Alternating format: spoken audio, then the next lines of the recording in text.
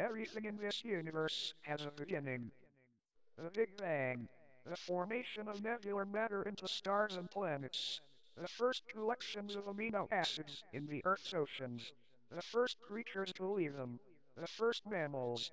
The first primates that walked upright. The first religion. The first printing press. And ultimately, the first synthesizer.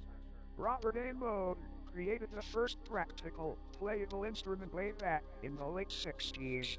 And no matter how powerful the synthesizers of our day, nothing comes close to that lovely, warm and organic sound of a Moog synthesizer. Here is an example for you to ponder.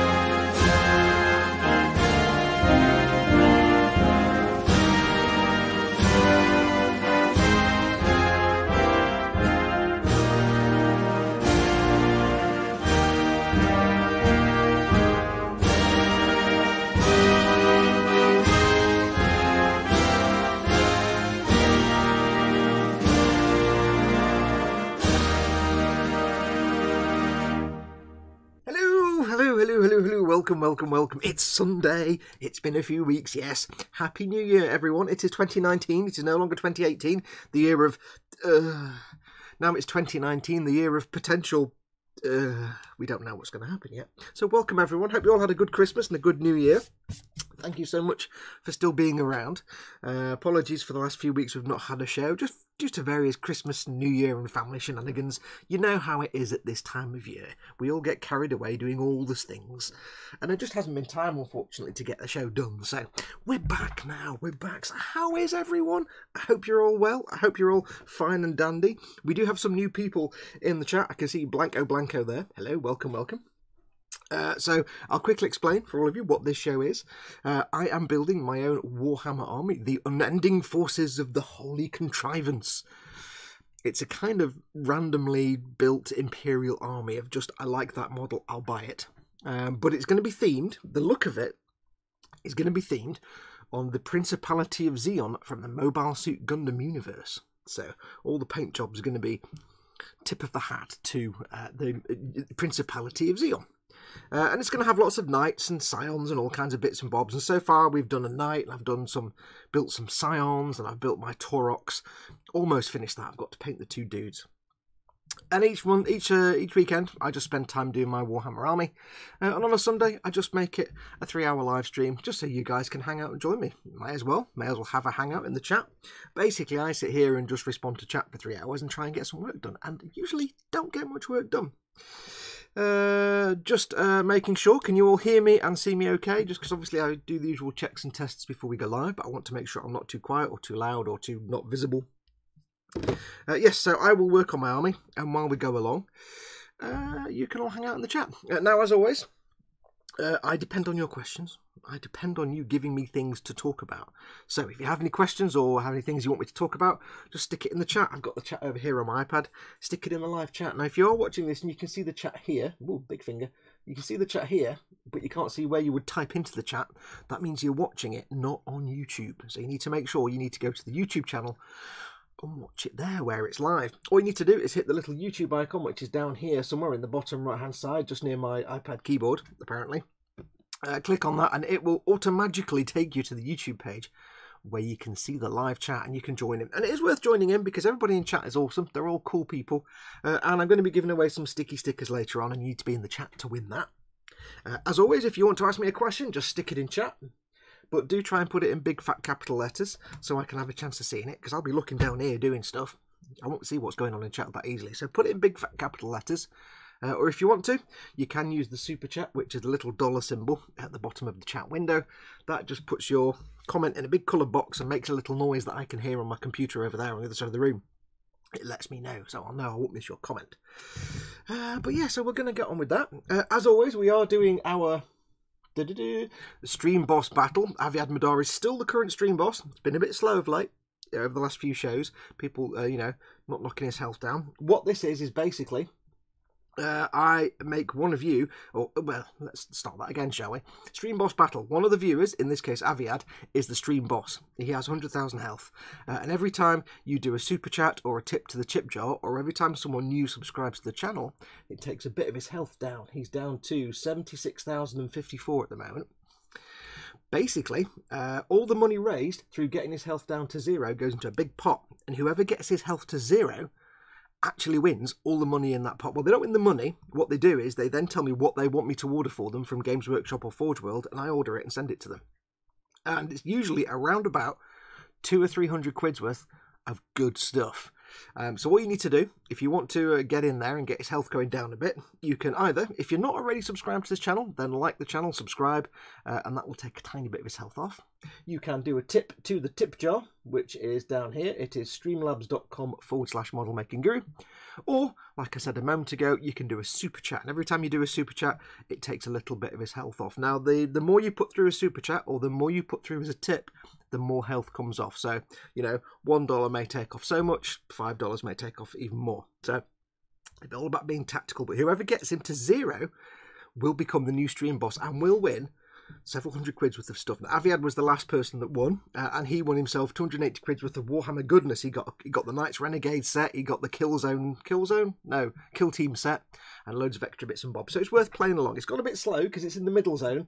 It's like an eBay auction where all the all the sniping and, and sort of bidding stops halfway through until it gets towards the end. So it's in that kind of slow zone at the moment. So, yeah, just feel free. I say, whoever, all the money that it raises goes towards the pot that then goes towards buying you, if you win, the cool prizes. So, let's have a quick look at the chat. Now we've done all the usual blurb. Uh, we have uh, Blanco Blanco. I do want to point out first who came in the chat and says, uh, uh, not sure how long I'll be able to stay as it's 1.50am in Oz, lol. But welcome, welcome Blanco Blanco. Blanco Blanco, get that right, Blanco Blanco. G'day, bro. Welcome to the show. Uh, hope you enjoy. Hope you can stay for a while. Apparently, it's like 40 degrees in Australia at the minute because it's the middle of summer. He says it's 40 de- 40 goddamn degrees for the Americans watching that Celsius, not nonsense Fahrenheit that you guys use. We use proper temperatures. Um, it's sorry, it's 40 degrees. That's like that's like the skin melting off. Now, I'm sure to Australians that's like a bit of a warm day, but to us here in the UK, that's like surface of the sun or something. So, yeah, 40. I don't think it even got to 40 degrees uh, when we had a big heat wave this summer here. So, wow. In this room right now, it's probably about, I don't know, 20 degrees maybe? Not that hot, but I am sweating a bit because I've got all the lights on and stuff. So, but yeah, here in the here in the UK, it's probably about five or six degrees at the minute. 40. Wow, that's just. Oh, that's the summer, that is. Who do we have in? We have Chris from Gross Models. Dad is in. Welcome to both of you two. Uh, obviously, both mods. Uh, you'll probably you'll find on my streams if you've not watched one of these before. There's about 300 mods in the chat. Just because I make all my mates mods, because I never know who's going to be around to mod in the chat. So I just make a load of my mates mods, and you end up with like 27, you know, 75% mods in the chat, which means it's really well behaved. Um, Pascal Leaverse, he's uh, I am still here. How is everyone? He was actually in when I posted up the thing today about half ten this morning. He said, first, uh, uh, Hendarian's, I can't read that, it's too far away. Hendarian's Bush Rage. Welcome, new name, don't recognise that name. Welcome, Hendarian's Bush Rage. He says, hi, Tyrone Key is in, welcome. Candy Grand for Mongo is in, Candy Grand for Mongo. Chris Smith says, afternoon all, apparently it's his first time in, or he's been able to get in. He says, finally made it after weeks and weeks and weeks and weeks real life got in the way. Or Christmas, as we like to call it. Uh, David Butcher, that model is in. Welcome, Dave. Finally remembered to sign in as the right account. Uh, Roadkill Raker, welcome. Uh, Nimson Durin is in. Dude, welcome, welcome. Uh, who else is in? Vincent from Mr. Lowe's Model Making is in. Uh, he's, a, he's, a, newborn mod. I realised he wasn't a mod for some reason, so I made him mod again. I'll, I'll make my mates mods just because I never know who's going to be in. Although it usually turns out that most of them are in. So, yeah. Uh, let's see what else. Uh, Wayne Haywood is in. Welcome, Wayne. What, uh, Mark Dale. Welcome to both of you. Blanca Blanca, how hot is it there? Yes, not very. Uh, who else do we have? Do do do. Uh, Candy from Mongo Fox's music is excellent and it's very generous of him to make it available like yes, Thank you very much. Yes, if you don't know this, all the music I do, apart from my own personal theme tune, which I use, which is the one with the porno elevator sax music, yeah. Um, everything except that I do, all my music, is public domain. Which means if you've got your own YouTube channel and you're looking for music for your videos, there's actually a playlist on this channel. If you go to my playlists, there is a playlist with all my tunes on there. Uh, it was available to download in other places, but that website's gone now. But um, if you want, if you if you want just some free public domain music, so you can use it however you want. There's no reason to give me a credit or an attribution, or anything like that. Um, there is a playlist and it's all public domain. There's loads of tunes on there. Do with them as you wish. I made them years and years and years ago. I never ever sold two CDs, so I thought, screw it, I'll just make them public domain. All apart from my theme tune, which isn't public domain because it's my theme tune. So, yeah. Ah, Mark Dale says, even got my son Max watching upstairs as he paints his knee orcs. Welcome, Max. Hello, welcome. Um, wait, I don't know where the camera is. There's the camera. Hello. Paint those orcs. Send pictures to the boom hut so we can see how cool they are. Orcs, yeah, Dakka Dakka. Uh, Candy Grove for Mongo, Standing Goal, that's when I was doing the national anthem. Do do do. Uh, Borry Models is in, welcome Borry Models. Wayne Haywood, uh, welcome, welcome. Scott Sutherland from Orc is in, welcome Scott. Uh, do, do, do, do, do. Who else have we got? What else is going on in chat? Uh, Jamie Bone is in. Welcome, Jamie. Jamie. I'm almost finished on the next episode of the um, um, Warhammer Conquest, Jamie. I'm just in the process of painting the the squiggly tank at the minute. Uh, you know, doing the doing the squidgy tank, and then uh, episode four will be up. So, because you've been asking me about that. Uh, when will End Times come to 40k? What do you think? Says Hendarian's Bush Rage. I don't know. I don't know. I think before they do End Times, they'll do The Emperor Wakes Up and Kicks Ass. I think it's more likely at some point the Emperor will be restored in some way that means suddenly the whole universe doesn't collapse because he, he suddenly has no longer protecting from all the nastiness in the warp. So they'll do it somehow. Um, there'll be the Star Child in there somewhere, probably something like that. And he'll come back and he'll basically then he'll. Although I don't know, because if they do that, it's all kind of running. The Empire's running against his wishes, like the whole religious him as the Emperor God and the whole Inquisition thing. He, he won't like that. He won't like that at all. So, hmm, I don't know. I don't. They probably won't change it. There's there's too much material to do yet. Uh, let's have a look. Hendarian says, why not? Primaris are going to fade out Mini Marines, and personally, I think Ynnari will fade out Aspect Warriors too. I just think Games Workshop will take a less aggressive approach with 40k. Uh, ooh, uh, Subame, thank you very much for your subscription. I appreciate it. Very much appreciate it. Uh, DJW Calio 7 says, Oh man, I really missed this live stream. Thank you. Thank you very much. Uh. Pascal is always really early. I think he's in my live chat for next week already, says Gross Models. he's always early. He's always like about three hours early. Uh, Mark Dale asks, has anyone been to the Warhammer World in Nottingham? Max is now nagging me to go. Is it worth it? Absolutely, Max. You've got. Don't stop nagging him till he takes you. This is why you don't want to tell me that Max is upstairs watching this, because I'm going to say, Max, keep nagging your dad until he takes you. I'd love to go. I would love to go, except it's in Nottingham and I can't be bothered driving more than five minutes. I will go at some point when I've saved up a lot of money uh, because I'll probably spend all my money. But I do want to go at some point because it's Warhammer World. I mean, oh, you can look at all the awesome, awesome sort of heavy metal kits and things, and all the massive dioramas they've got. I need to blow my nose. I've got a really runny nose today. And if you're a regular viewer, you know that the moment I turn all my lights and camera on, my nose runs like a tap. Ugh. I don't know why. There we are. So yes, Max, keep nagging your dad. Dad, Max's dad.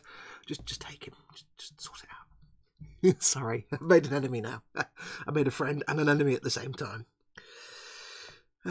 Blanco Blanco says, as it's night, it's only 20 degrees centigrade, but even at 7 pm, it can be 30. Oh, I mean, we suffered this summer with the heat wave over here, and that just meant it got to about 30 during the day, and in the evenings, it was about 20.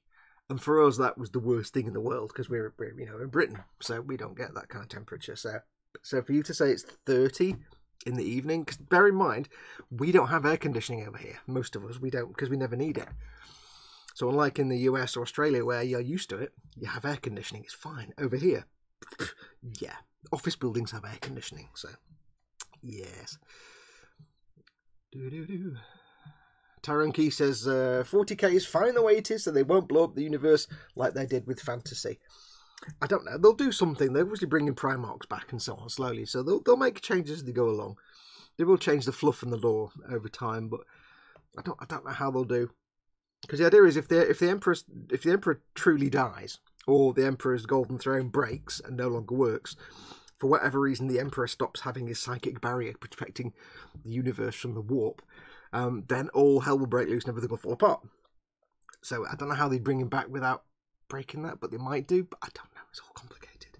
I've been studying the lore a little bit. Unfortunately, instead of studying the fluff that's relevant to me playing a game, I've been studying all the fluff that's relevant to the entire history of the universe and not actually anything that would be useful in a game. But never mind, it's all fun.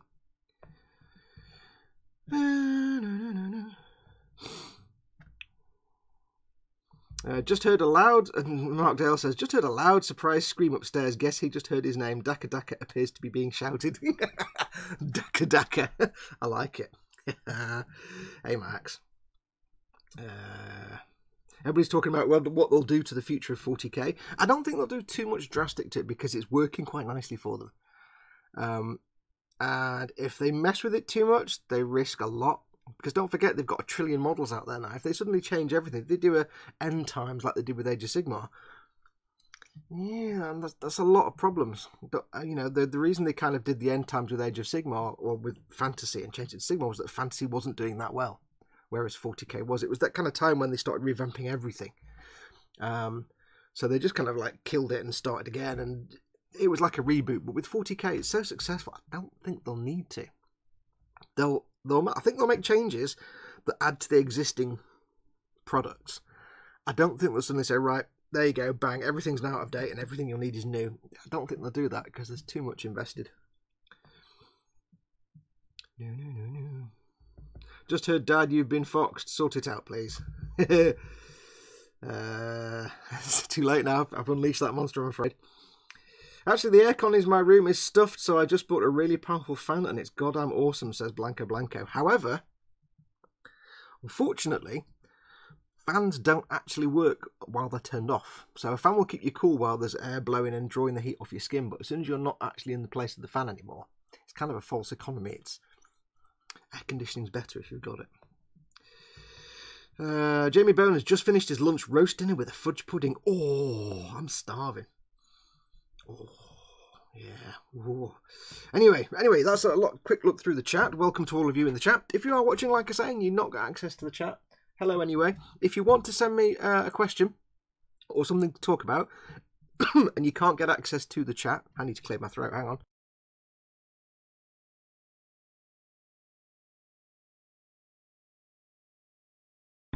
That's better.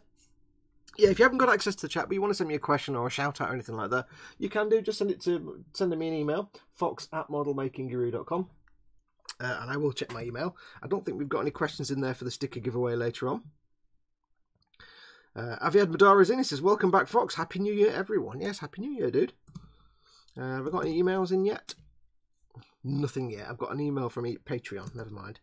Uh, yes, we'll do some sticker giveaways later on. Uh, and as always, I'll ask questions and answers. So if you want to send me a question and an answer to use during the sticker giveaway session, I'll get I'll send you a sticker as a reward if I read your question out. So it's fox at modelmakingguru.com, which is there. Uh, right, what are we going to be doing today? Well, I need to scratch my nose. Um, in the last episode, we were doing something. What was I doing? I was working on. I got, forgot to get it out, didn't I? Hang on. Hang on. Ah. When last we met, I was working on this puppy, my uh, uh, Chimera, Chimera, whatever that is, which is now builded and assembled uh, so that's ready to be primed and painted it's all assembled now. I can remove the turret, and that comes off quite nicely when it comes to painty painty time, or it will do when I turn it the right way. So that is all done. Uh, so that's just waiting for painting painting. Now what I'm doing with a lot of these kits is I'm getting them built up but not painted yet, just to get them out the way.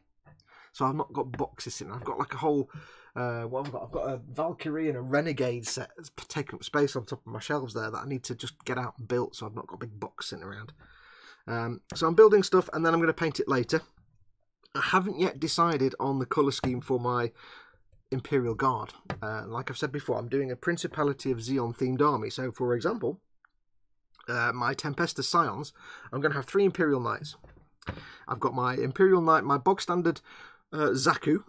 Remember, it's Zeon themed. My bog standard Zaku, which is an Imperial Knight just painted green shades of green. It's filthy and dirty. I've done that one.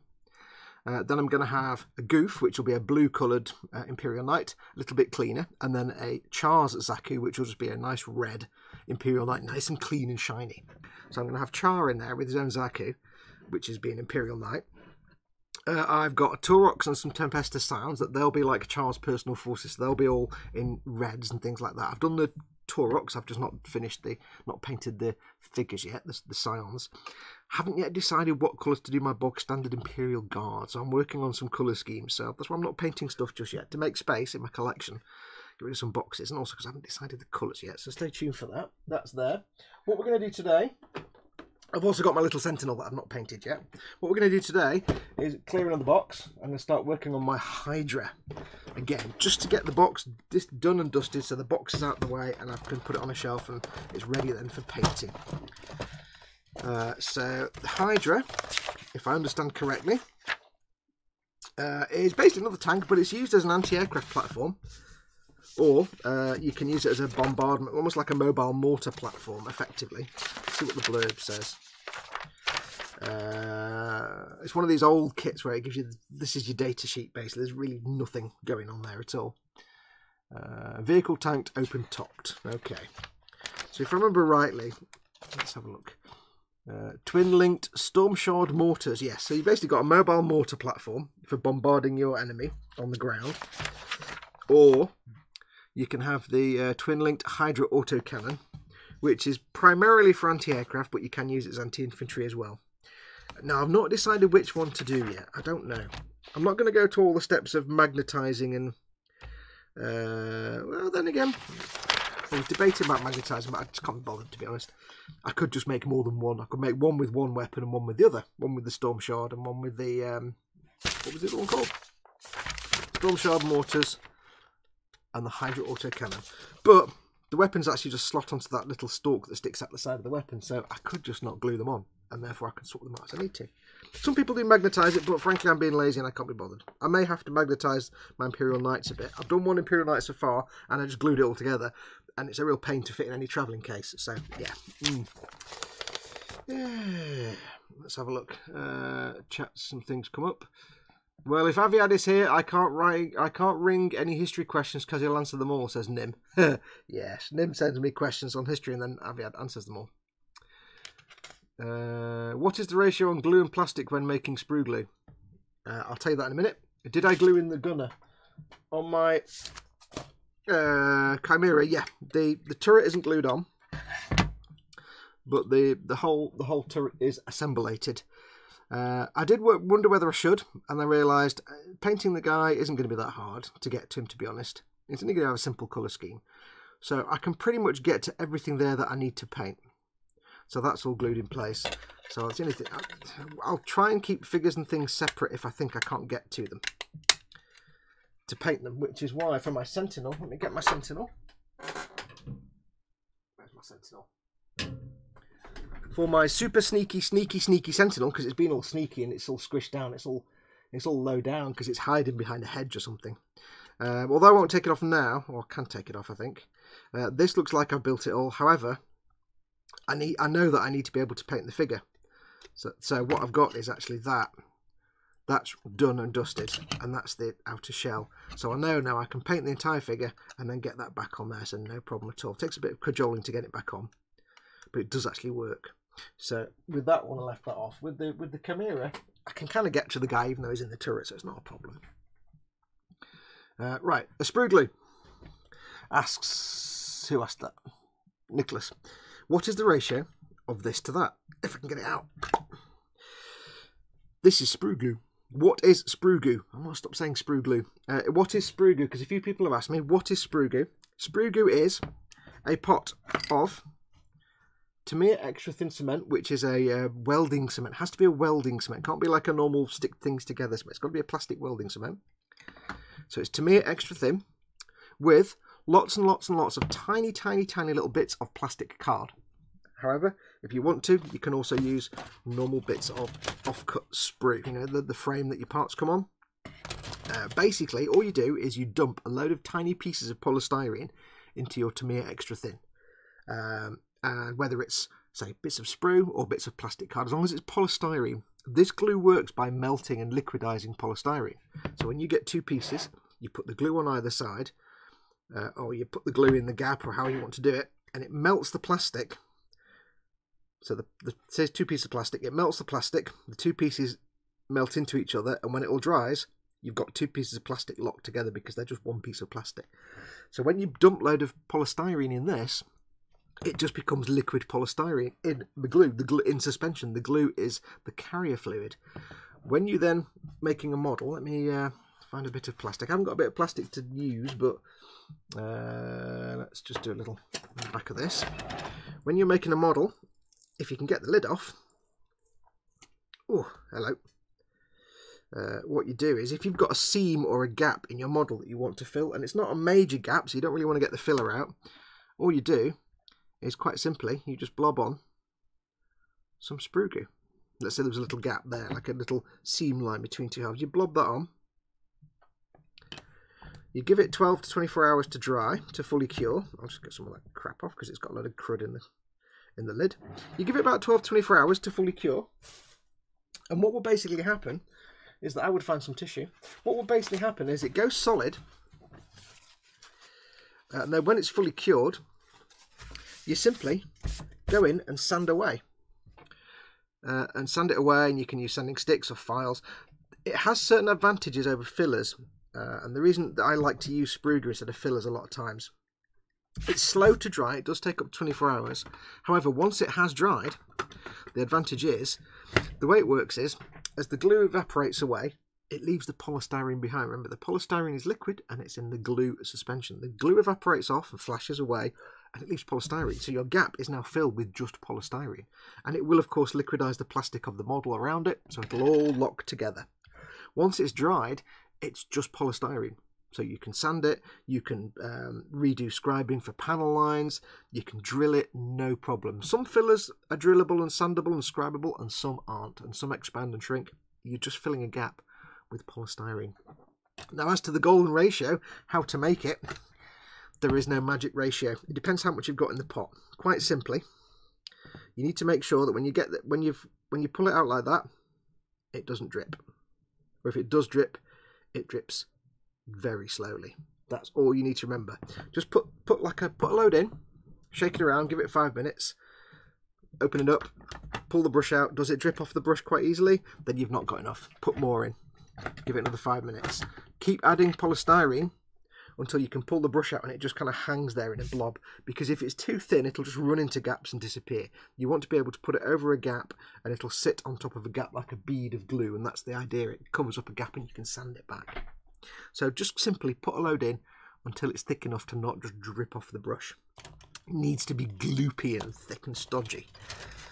But it's uh, the only word of caution I would say is when you're doing that, take the lid off, put your little bits of plastic in, put the lid back on. Don't just leave the lid off for five or ten minutes because you will then give yourself headaches because it really does get to you after a while. So, yeah. Uh, but yeah, sprue glue. It's a it's a really cool way of doing filling gaps, and it's a lot less hassle sometimes than just fillers. Now, before we get going, I've of course got my enormous cup of coffee, which is legal requirement. Uh, so, quick look at chat. It's a remote control standing fan, so it's pretty good, says Blanco Blanco. Oh, trust me, I've got I had a fan in the summer here, it was absolutely divine. But I knew as soon as I turned it off and went to bed, I'd just get hot again. Uh,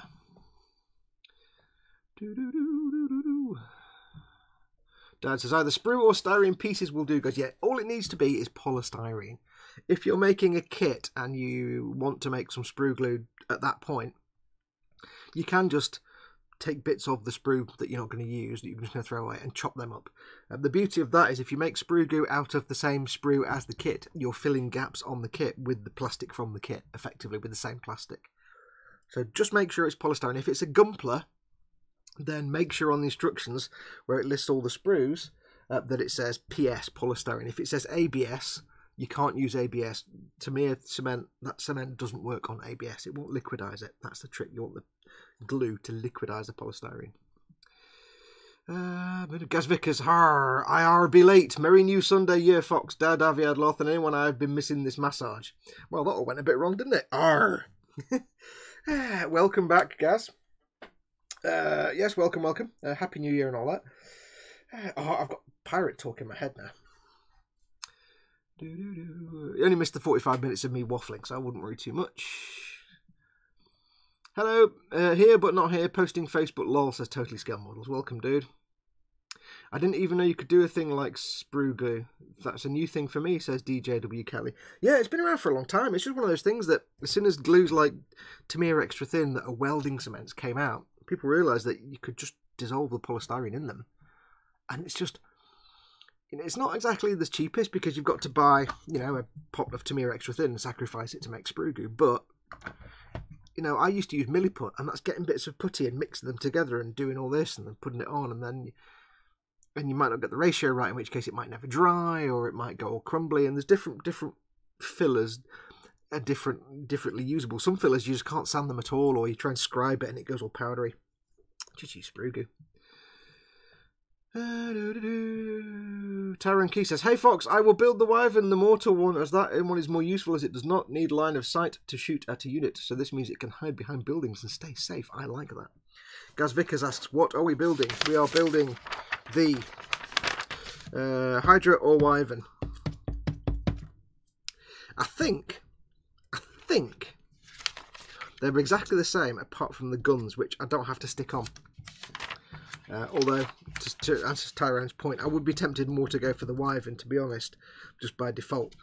Um, but if I don't glue the guns on, if I put them on, they're just going to go like that. I don't know. I don't know. I don't want to do magnets because that's far too complicated. Not complicated, but I just can't be bothered doing the magnets. This is just for me to play on the tabletop, not display quality models. So we'll see. We'll see. If they don't really stay in place, I'll just glue some on and decide.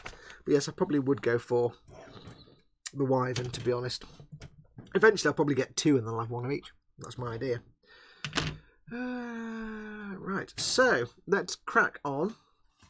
Uh, where is step one? Because pretty much it's all the same. I think. Step one to seven for the Hydra. And then step eight to ten. Yeah, so the only difference between the two is it literally is the different weapon. There's no difference in the in the hull. I'm not even seeing that. There's no difference in the hull or the superstructure or anything like that. So I can build either at this stage. Now, what this does mean is it's going to be another couple of hours of me making tracks. Hey, we've done this before. I have to wonder now, are they going to get the tracks all messed up like on the last one I did, which made me all grumpy? Probably. So, what have we got? Uh, I need uh, part number, no number, and no... Oh, they're doing it again. I'm going to mess this up now, aren't I, like I did last time. Right, where's me, where's my helmet of seeing? So, they're not going to tell me which one I want. So I'm going to guess I want. I'm going to use my brain now. So left track assembly is is do do do do do do do do do is that one. Ha and so we'll get that one off. Let's get it off. Because if you remember when I did the tracks on my Chimera, they put the two different ones on the same bit, and it was really annoying. Like I've got a front piece and a back piece, but on the on the Chimera it's like this bit and that bit. You would sensibly assume that's one side and that's the other. No, it was like that bit and that bit and that bit and that bit. So we're not going to do that this time. So uh, that's that. It has to have this piece attached to it thusly, and it's not that one. They've done it again. They've done it again. I just, oh, I can't believe it. It's not that one. It is, in fact, that one. Oh, Games Workshop, 10 years ago. Oh, middle class suburban non numbered sprue nonsense. I don't know. Why? Why? Why do that?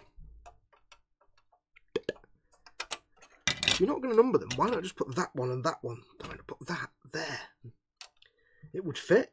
It would actually fit. I just, oh, oh. Just make sure, just for my own, for my own special knowledge. About uh, actually, oh, could be wrong actually.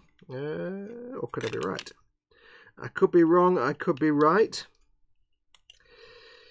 That looks correct. There we go. Yes, so they did it again. They did do it again. I think that's the same sprue as the Chimera. Um, yeah, looking at it now, it's exactly the same sprue. Ah, actually.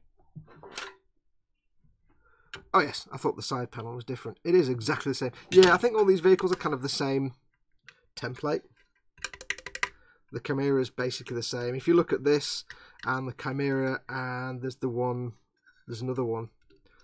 There's a few of them that have exactly the same base bit. The only difference here is I don't have this bit on the back, on on the uh, on this Wyvern slash Hydra.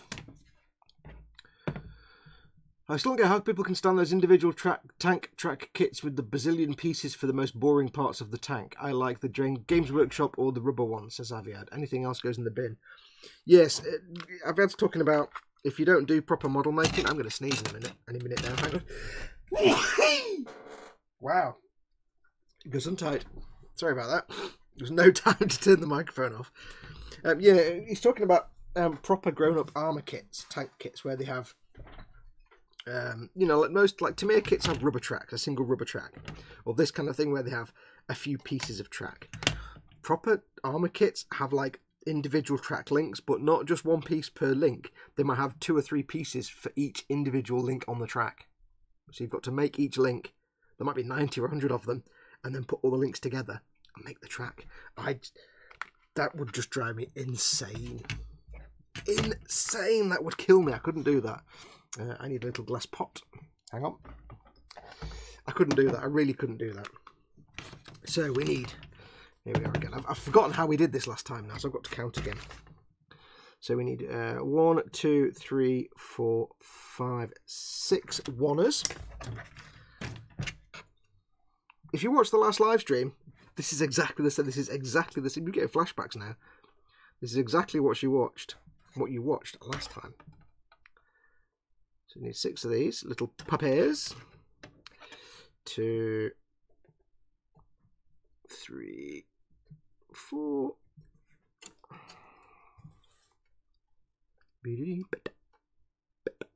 So anyway, I hope you all had a jolly good Christmas and jolly good New Year's and that.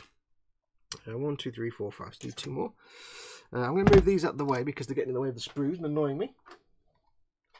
I had a jolly nice and quiet and peaceful Christmas and New Year. Uh, I made myself a little bit fat, which is a bit of a sad thing. So I'm currently trying to get rid of that. Uh, purely because I did nothing and uh, all the food in the world. It's the downside of the Christmas and the New Year's. Oops. Six of those. I've got six oneers. Uh, we need one, two, two tours, two two, two tours. Yes, we had a jolly good Christmas. It was very pleasant. Good New Year. Uh, I had a moment of deepest of joy and then the deepest of disappointment uh, over New Year when I realised I had the moment of deepest, deepest joy when I saw to my delight that the Christmas lectures were being hosted by Dr. Alice Roberts, who I'm utterly in love with. I want to marry Dr. Alice Roberts because she's awesome. Uh, and I was like, oh wow, she's doing. Oh, I'll watch anything that I, Dr. Alice Roberts could just have half an hour of her walking to the shops and back, and I would sit and watch it transfixed. I'm utterly in love with Alice Roberts, Dr. Alice Roberts. And I was like, wow, this is brilliant. I kept, oh, no, because because last year's Christmas lectures, right, they were rubbish. The guy was annoying. I need a one, one, two, three, four, one, two, three, two fours. Uh, last year's were rubbish. If you if you're outside the UK, the Christmas lectures are basically a British tradition. Um, every New Year, it's the Royal Institute of uh, the Royal Institute, which is the world leading scientific institute. Every year at New Year, they host a series of lectures over a three or four day period aimed at children. And they can be about anything. They've been about, you know, various scientific subjects. They could be robotics, uh, meteorology. Uh, Carl Sagan hosted one of them once. He did some on the solar system. They've been going for like 30 or 40 years, the Christmas lectures, the Royal Institution Christmas lectures. Uh, and they're usually very good. But the last few years, they've been real kind of a little bit. Um, what do I need now? Two of the biggies. They've been a little bit too dumbed down, a little bit too child friendly. Whereas they used to be, you know, watchable by adults and kids. The last few years, they've been a, a bit too like children's TV, a bit too poppy. Bit, and it's like, yeah, I'm not really watch those. Um, however, when I saw it with Dr. Alice Roberts, I was like, oh, heaven, heaven is alive, heaven is real, I'm living in it. I can sit and watch Dr. Alice Roberts talk to me about, I don't care what she's talking to me about, I really don't give a crap. I could just sit and watch Alice Roberts do charming things for an hour, three or four hours. Uh, and started off well. She comes on. We're going to talk about, you know, evolution and stuff. I'm like, yeah, brilliant, nice one. This is going to be great fun. and then her co-host appears, and it's some Irish woman who just I don't know why she just I just found her completely annoying. I just couldn't stand her at all. I was like, oh, I don't like you. I don't know why. It's nothing nothing personal against her. It's just she just grated on me. I don't know why. She was trying like like an adult who tries too hard to be hip with the kids and just fails miserably. It just didn't work for me. So she just got on my nerves instantly, and I'm like, look, stop taking time away from my beloved Dr. Alice Roberts. Stop, stop taking her away from me so I can't see her on the telly. And go away. But she kept coming back, and I'm like, ah, oh, I can't watch it now. So I had to give it watching in the end because I couldn't, I couldn't stand this woman she was co-hosting with. It was like, oh no. So I had to miss out on three or four hours of my my beloved Dr. Alice Roberts. If you don't know who Dr. Alice Roberts is, you're missing out. If you're in the if you're in the UK, you need to go to iPlayer and look up uh, anything on the science or the history side. She's a she's a anthropologist, and um, she's just divine. She's been she's been around for a long time, uh, but yeah, she tends to. She's an anthrop. She's a forensic anthropologist. Well, she's not. She's a. She's an archaeologist and anthropologist, so she does a lot. But she does a lot of science stuff as well. And it's strange the stuff she gets chosen to host. But i will do anything for Alice Roberts. I really would. It's like my dad used to have a thing for uh, Kirsty Wark on Newsnight. With me, it's Dr. Alice Roberts on the science on the science programs. Oh, Dr. Alice Roberts.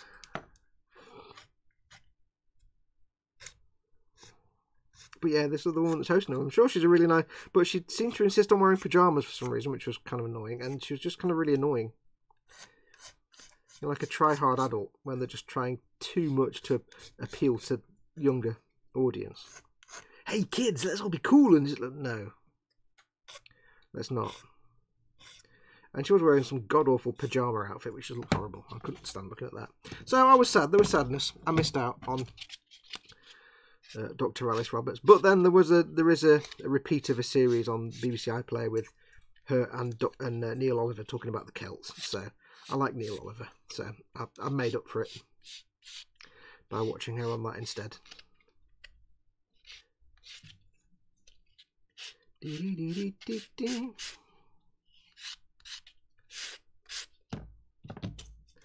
If I was somehow to find out that Dr. Alice Roberts was into Warhammer, my god, the world would be just the best place ever. My world would be complete. She won't be into Warhammer. yeah, no. Where's my brushy brush?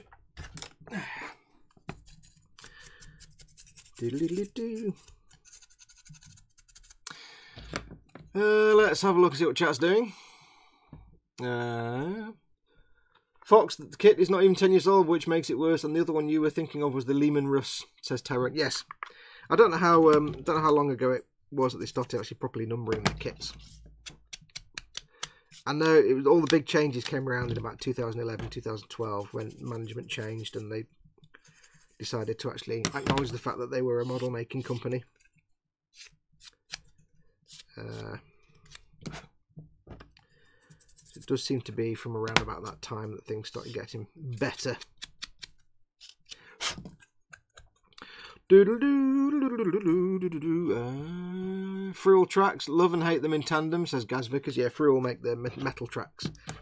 When I was saying earlier on about, like, you know, tanks where you have to make the tracks, some of them have metal tracks, which I suppose isn't so bad because you've just got to get the parts and assemble the track. I could probably live with that, like Friul tracks.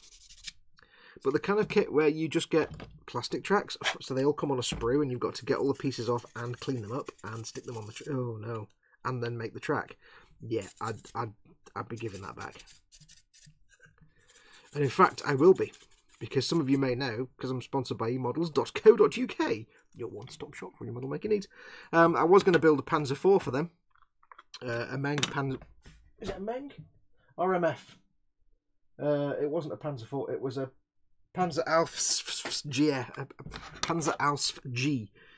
I was going to make as my next E models build, and that had individual track link plastic tracks, and I I got it home and started having existential dread about that, and then uh, Bandai made the perfect grade Millennium Falcon available in the UK, And I said to Pete Mate E Models, I'd like to build that Falcon for you. And he said, absolutely. And I said, brilliant, have this tank back. I don't want to make that now. So I dodged a bullet on that one. I've still got it here. I need to send it back or take it back with me. So yeah, I nearly, nearly end up doing that. Thankfully, I won't be. Because I'm not a big armour builder. He says building armour. This is Warhammer armour, it's different.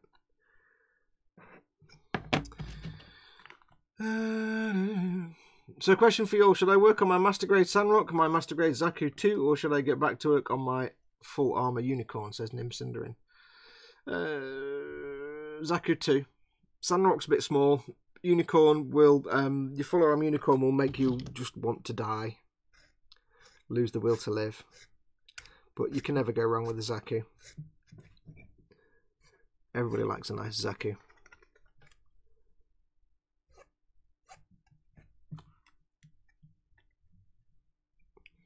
Mm-hmm. James Lorimer is in. Welcome, dude. Uh, Dad saying he started this huge submarine. Yes, Dad has got. Uh, if you watch my good, very good friend Ted, uh, Skipper Ted's, uh, his, his, channel, he's been doing the big Trumpeter 148 scale 7C U boat for E models. This thing's a beast. It's like four feet long, massive. He's been building that for about two years now, on and off. Uh, but Dad's got himself a kit as well. And he's actually vowed to. He's made a start on it now. He's got the same kit. I look forward to seeing that. Just take your time with it, Dad. Don't be rushing it. Enjoy it. Uh, -doo -doo. Space Hamster says uh, bratwurst, taters, and sauerkraut here. 66 percent the Germans. that all just sounds really. I love sauerkraut. I think I've told you before, my, my secret recipe for making nice hot dogs is to use Polish hot dog sausages from Tesco's and sauerkraut. Oh, delish. And some dried, uh, ready to eat kosher onions that you can sprinkle on top to give it the crunchies. Yeah, it's a nice combination, all that.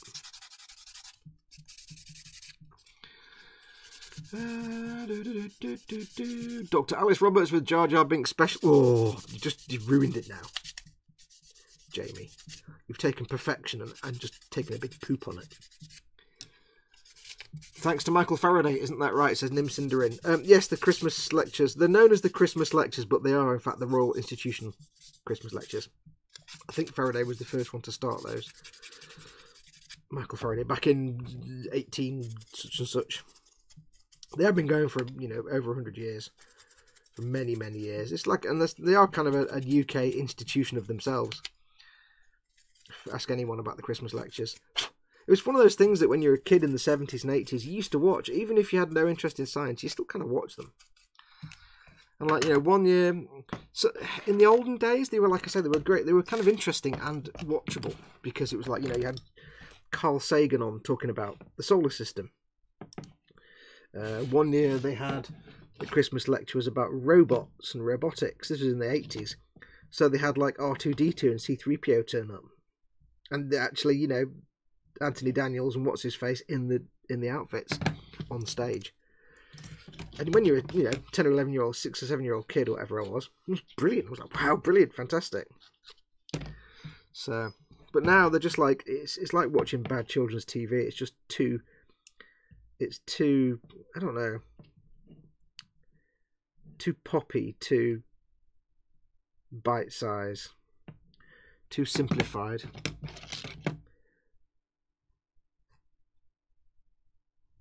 So you can't really watch them now. But yeah, they have been around for a very long time. It's kind of a British tradition now. It used to be that, uh, you know, when I used to watch them in the old days when I was a kid, I'd actually be watching them for what they were about. Not necessarily that I was interested in the person doing the presentation, because often the night it was just a scientist, a another scientist. But nowadays, uh, if I do watch them, it tends to be watch them because I like the presenter rather than I like the subject. So, you know, obviously Dr. Alice Roberts, because I'm in love with her and I want to marry her and have all her babies. Uh, they had um, Brian Cox did it one year. I can't remember. I think his was all about time and space, I think. It was obviously about space. I can't remember specifically what he was talking about. He's done one, one with Sagan. So now it's more a case of I'll look at who's presenting it and see. Yeah, I'll see what it's about. But even if it's something I'm not interested in specifically, if it's a presenter that I recognise that I'd actually quite like, I'll watch it. Like it could be a it could be a lectures on statistics, which you think would be the most boring thing ever. But there are a couple of presenters that the BBC have that have done some documentaries on statistics that have actually been kind of interesting.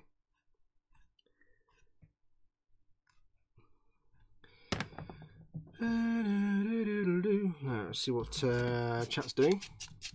See, see, say tax and Scott appears. See, say tax.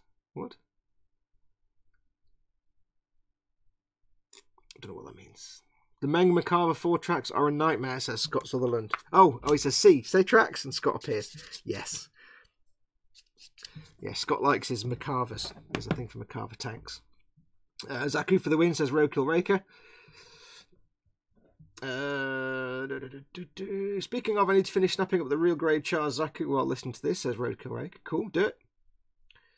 Uh, EC Idaho says, I too am scared of individual track links. I'm not scared of doing them. I just know that I have such a low boredom threshold that I would just get so bored. so bored.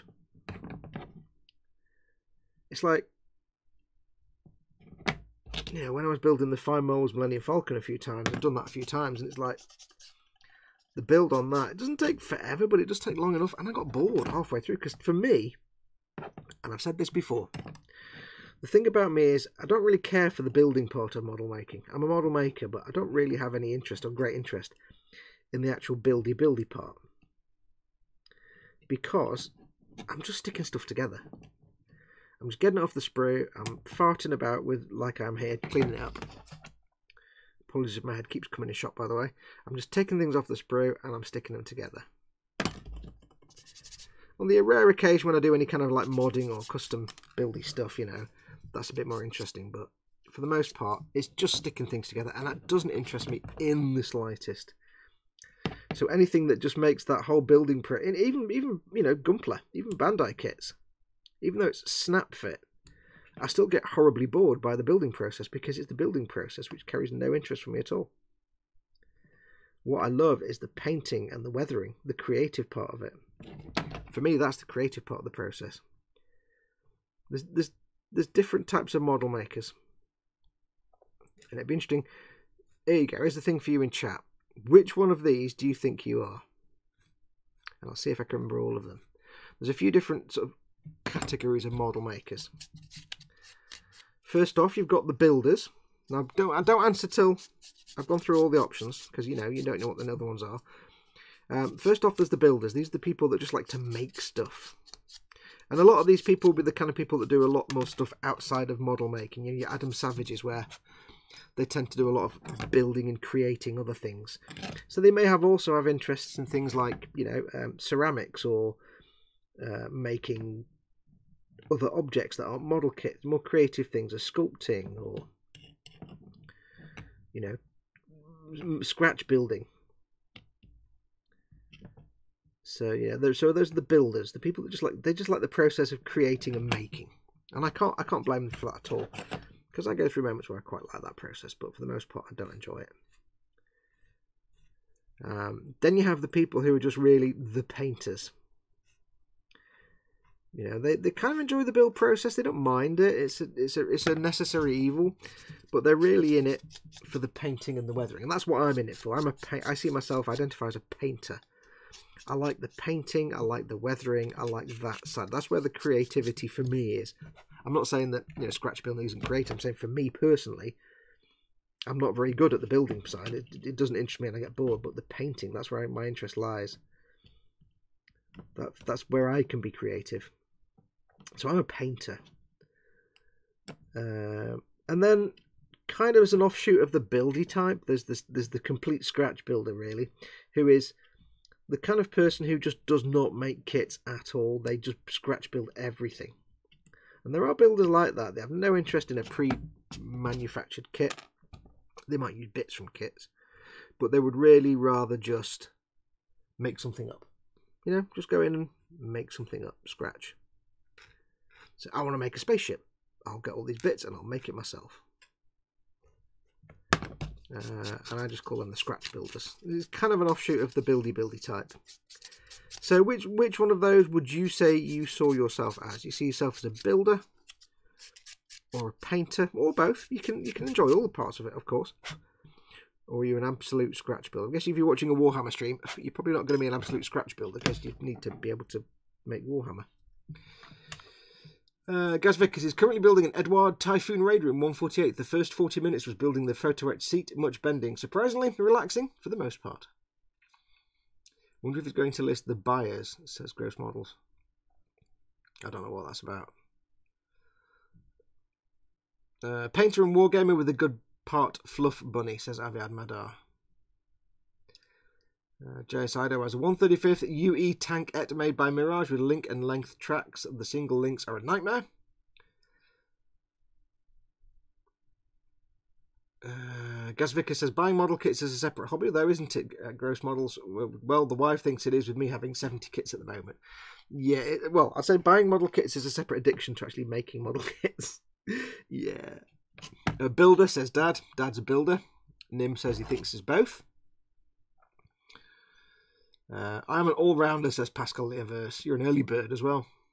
Space Hamster ZH, welcome Space Hamster ZH. I'm mostly a painter, but part of what has drawn me away from illustration and to model making lately is that I'm making three-dimensional objects. There's that too. Yeah, it's just, I mean, I, I, I'm an arty type as well.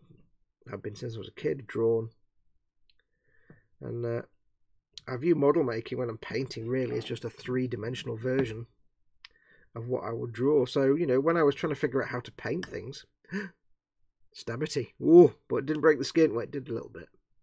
It's not going to bleed. It's not. It's the stabity, but it's just broken the skin a little bit. There's no actual stabity, so you can go home disappointed. Yeah, when I'm trying to figure out how to paint something, like for example, um, when I want to paint, say, leather belt or some leather strapping on a character, I don't pay any attention to what other people say to do. I just I just remember how I would used to do leather strapping or a leather belt when I used to do two dimensional art. Because I used to when I was a lot younger, I used to draw. I was always kind of a cartoony artist, but I used to use pencil crayons. I'd do like pen and ink. So I'd do pencil outlines, then ink it all in either with with a, a mapping pen or with a, a proper nib ink nib or just even brushed it in with inks, proper artist inks. And then I would, before I figured out how to colour uh, pen and ink drawings with watercolours, like you do in a, a, comic book, I used to use uh, pencil crayons. So I would, I would literally sit there and think, how do I paint this? I've got this figure and he's got like a brown, a brown ammo belt. I wanted to like brown leather. How do I paint that? Well, how would I do that in pencil crayons? Well, I'd do this, this, and this. Okay, we'll try that in model paints. Done. There you go. Don't know where I was going with that. You can basically have crossover between two and three dimensional art, is what I'm trying to say. This is a slow process. Now, Chris, you see why I went into the eModels live stream with my tank pre built. Because it's been.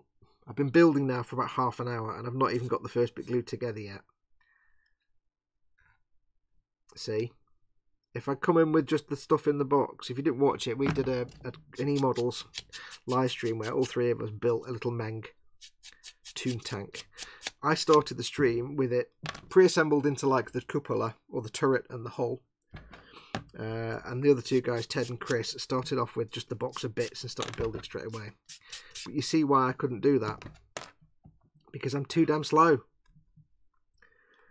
I sit here for like half an hour just taking out all the. That'd be quick if I just do it with the file, to be honest. Taking out all the little nibs and nubs and bits, seam lines. I can't. I can't run through building fast at all. So they're all, they're all joking, saying I was cheap because I started off. And you know they finished their tanks before I did. But I was I was taking my time with the painting, bro.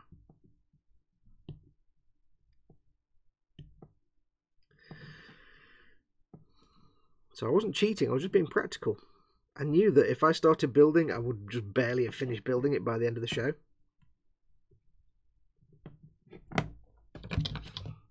And I can prove that because this will be an hour shorter show and there's probably less parts on this kit and I want to finish building it by the end of it. So there was no cheating. Uh, what people saying? I guess I fall into. Oh, uh, Matt Bradford says he's an all rounder as well. Uh, JS Hyder says, I guess to fall into the build part of it, mainly because my painting ability is not all good. Just takes practice, dude. Just takes time. Beyond Hope, welcome Beyond Hope. Happy belated New Year, and to you. I just like building, got back into models to relieve stress, as Os- Osric 9000. Uh, me and Ted finished, just saying, says Gross Models. Yeah, I finished. I finished the tank. I just hadn't done the figure, that's all. I finished my tank uh, the same way you did. I finished a little after you guys. And let me, let me, this is going back to the Christmas live stream. Let me also point out uh, that while these guys spent half, you know, an hour and a half building the tank, uh, and I, I didn't, and they finished before me, I brush painted everything. I didn't. They they looked out. They just like wussed out and got an airbrush and went, "I'm going to paint it green now." Psst, done. I didn't. I brush painted it. I'm like, I'm going to paint it blue now.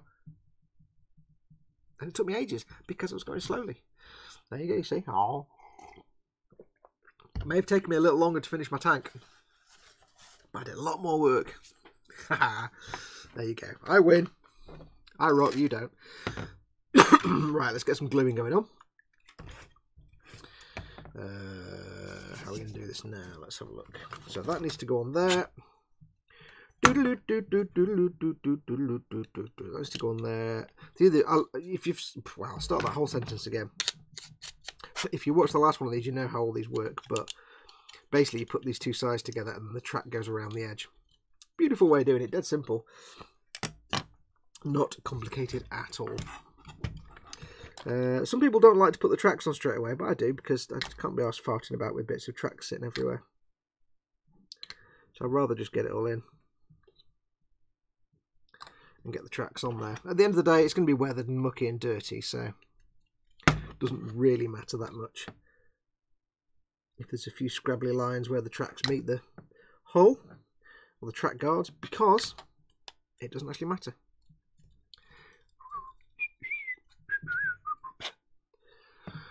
Uh, where's that brush gone? Do do do. On there. So I'm going to dry fit the big track on the top.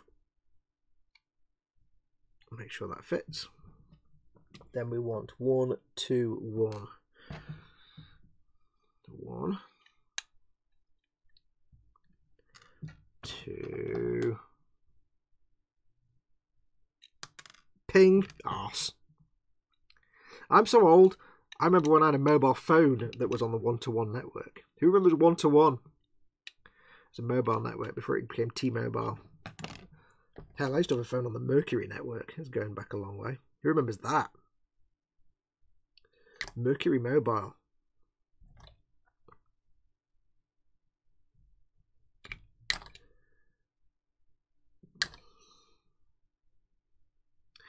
Okay, so that's that on there. I shall attach the big boy here. Let's get the big boy on that. So yes, so I did finish a little later than Chris and Ted, granted. I did start with it pre-assembled into the two distinct and primed. But again, it's because I knew I wasn't able to do the airbrushing. And I didn't want to do the airbrushing. And the brush painting did take a bit longer. Because where they could get their entire base colour on there in like, you know, one, five minutes, bang, there you go, it's green. What? I took my time. And I did do, you know, it was already pre-primed, but I did do a base colour and then a dry brush of a highlight colour, well, base colour and then a wash. And then, um, you know, the base colour over again. And then a highlight colour. So I, I put my effort in. Uh, two, one, one, two, one, one, two, one, on that. Did a lot of dry brushing to get me lights and darks, to get a bit of shading going on. So I wasn't sitting on my arse, you know. That's not right. No, you spoon. Tis the wrong end. Tis the wrong end. Yes, I made a mess of that. Made a mess of it all. I went the wrong way around. I did it wrong, Mum. Right, should we try that again? Can't get it out now. It's all gone a little bit wrong. We'll try that again, shall we? So that goes there. One, two, one. There we go. Apologies if my head keeps coming in shot. I'm an idiot. I can't help it. One, two. There we go. That's better. One, two, one. There we go. Much better.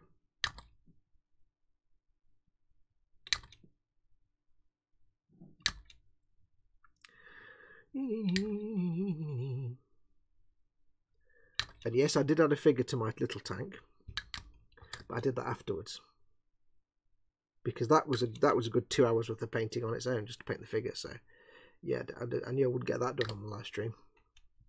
It was all good fun. Uh, is it a DIY harmonica? Looks like it, doesn't it? Uh, let's have a look. I don't remember a, a no airbrush rule, says Chris at Chris Mods. There was no there was no rule about no airbrush. I just I can't I can't really film I can't do anything with the airbrush while I'm working because you wouldn't hear anything. It'd be utterly annoying, and my spray booth is in the wrong place for live streaming. So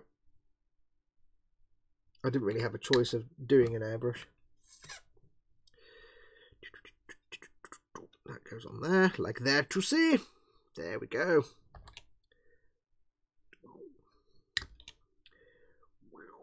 Little bit. Uh,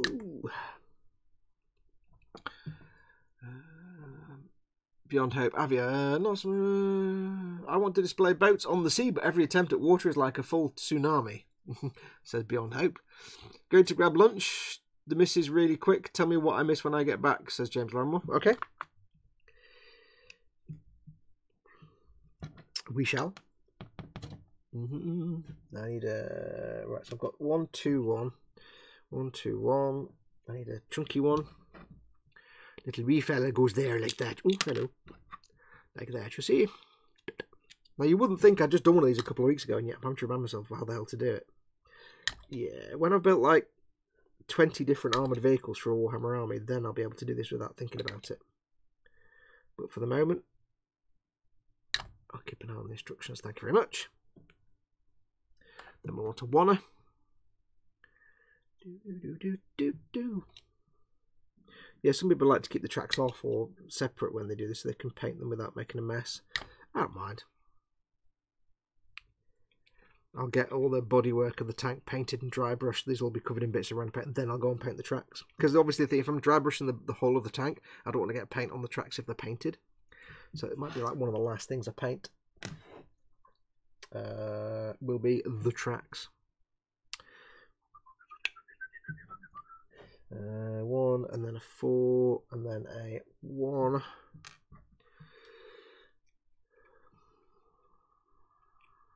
Eintragen gefahren.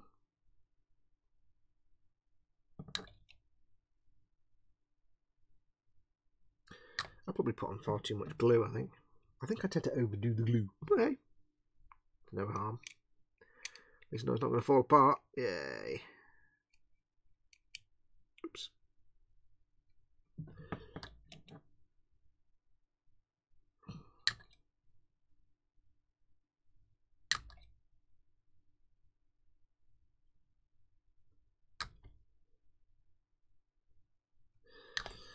Then a one.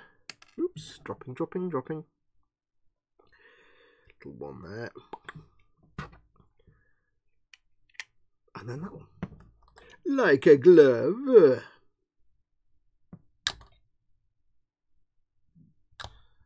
I shall have a look at the chat in a moment. Can't talk. Gluing.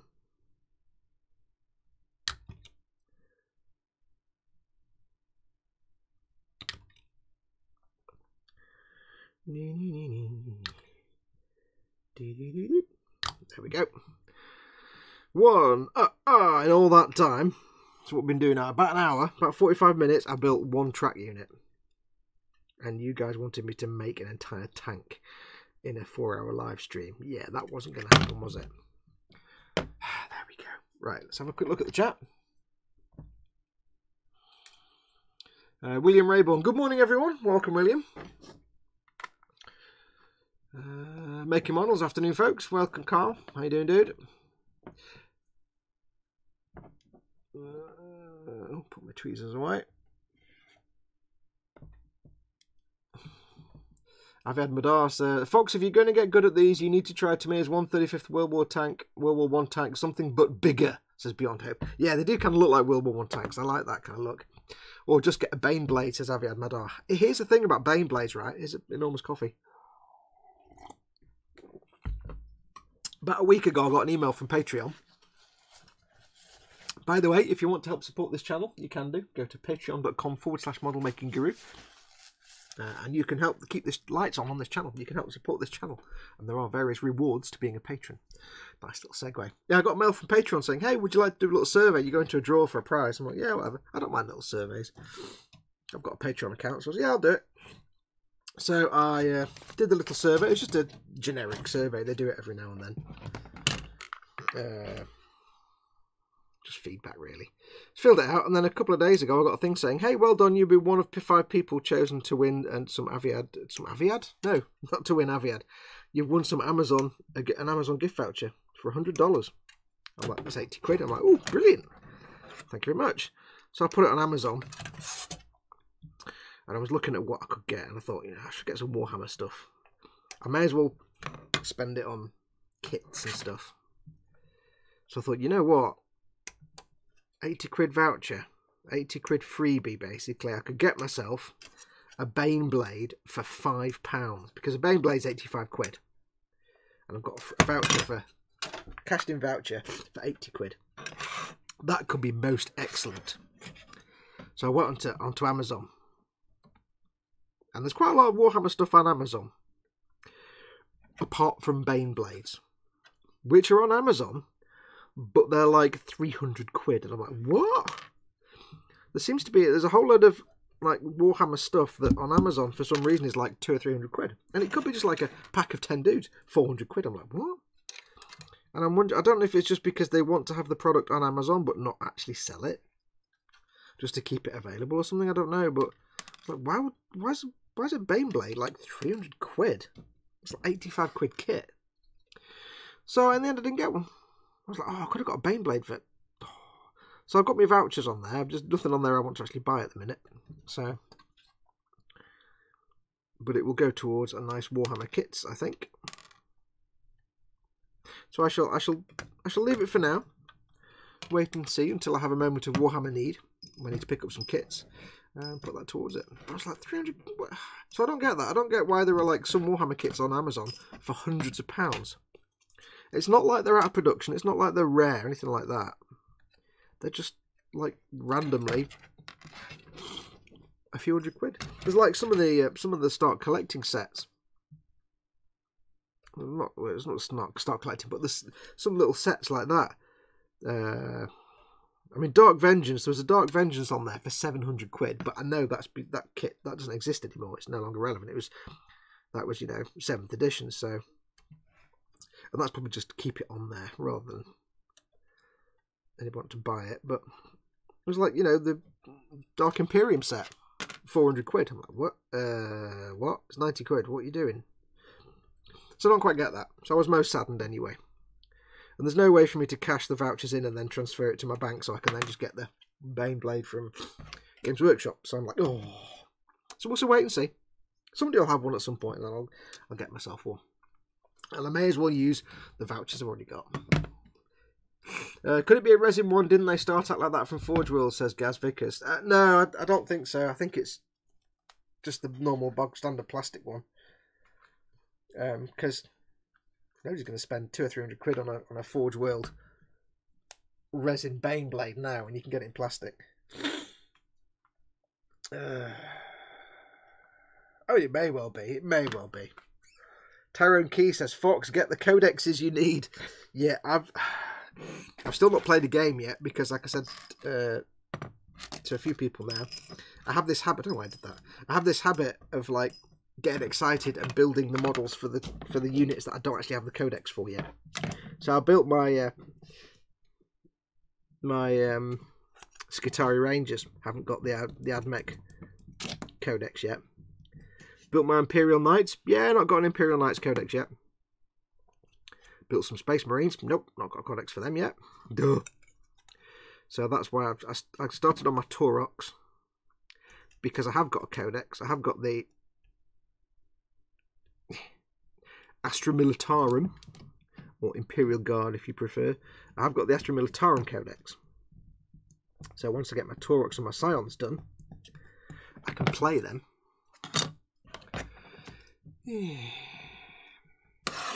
Uh, Chris says codexes or codii, or Paul Team Inept says codices. I kind of think, as far as I know, codices is the correct plural term for multiple codexes. But nobody says codices, they just say codexes. So I don't know what the actual correct pronunciation is, but I would have said codices. I've also got the codex for the uh, Armour of the Imperium, which is the Forge World codex for my Death Korps of Krieg. So technically what I need to do, although I've made the mistake now of starting this, but what I need to do is as soon as I've got a load of my Imperial Guard things I can play with, uh, you know, get this get this built and built up. I've got my Tempestus Scions. I need just and all I need to do on my sounds is paint the dudes now. So I need to get that done. Uh, and then what I can do is get my um, Death Korps of painted up, built and painted up because I've got the codex for them. Then I can start playing some games. Get to my local Warhammer store and start playing some games. Somebody did ask me actually, uh, I think today or yesterday. It was talking about my. I'm doing the, the Warhammer Conquest thing, and they asked if I played any of the games yet. It's like, no, because there's no one I can just pop round to the house and play. None of my friends play Warhammer will be interested in playing Warhammer. Uh, so the only place I can actually play is to just go to my local store. Now, there's a couple of guys in the Boom Hut that do actually go to my local store. So uh, Gray Hall is one of them that I would probably end up playing because he's a he's a local lad. So he goes there. So I do need to actually get some shizzle done so I can go and have a game with Gray at some point. But yeah, there's I've not. I could technically have played some games with the uh, the Warhammer Conquest because it comes with all the gameplay rules and stuff. However, there's no way on God's earth that I'm going to my local Warhammer store and putting down as a as a professional model maker. I use the word professional very very loosely, as in I get paid for doing it, but I'm not really professional as a, as a model maker, I cannot put half painted model on a table. I'm sorry, it's just not going to happen. If I play a game, I want those models to look fantastic. Or at least look painted. no, no, no. Because my local manager jokes, he says, I don't care if your models are painted or not. And I'm saying, and I'm like, I do. In any way, I'm putting unpainted models on the table, get off. It's not happening. Ah, Forge World. Let's not talk about that, says Paul at Team Inept. They sent you a free Magnus the Red. You can't knock them. No matter what they do now, you have to forgive them for all time because they sent you 100 quid worth of kit. Or some price, whatever it costs. So they can, they can do no wrong for you ever again now.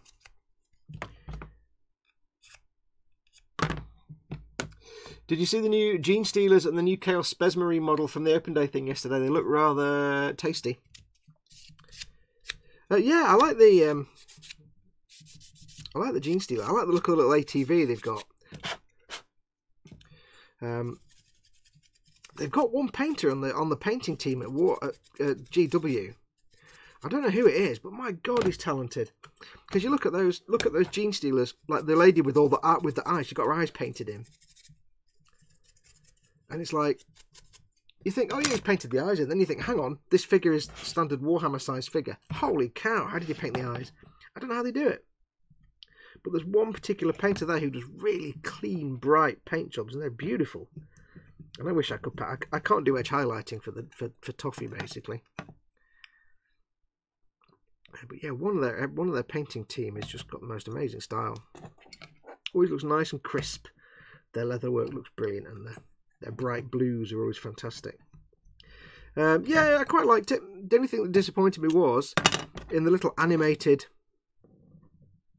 There was a little animated video on uh, Warhammer TV for the release of the Genestealer stuff.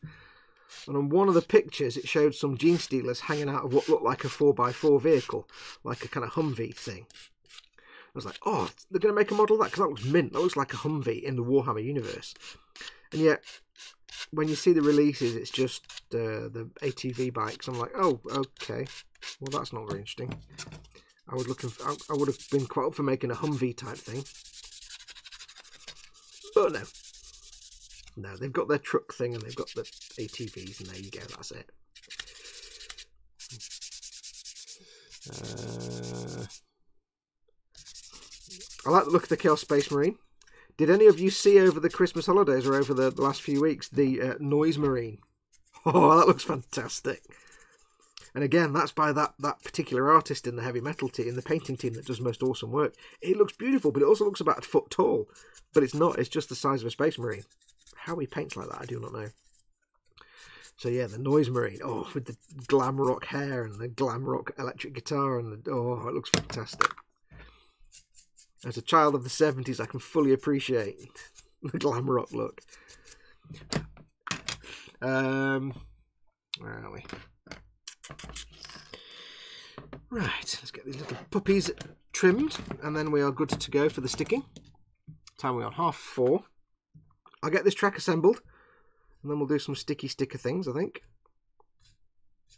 Time flies by when you're the driver of a train, standing on the footplate there and back again. Nah, not as good if I just slice them off. Do it on camera, dear.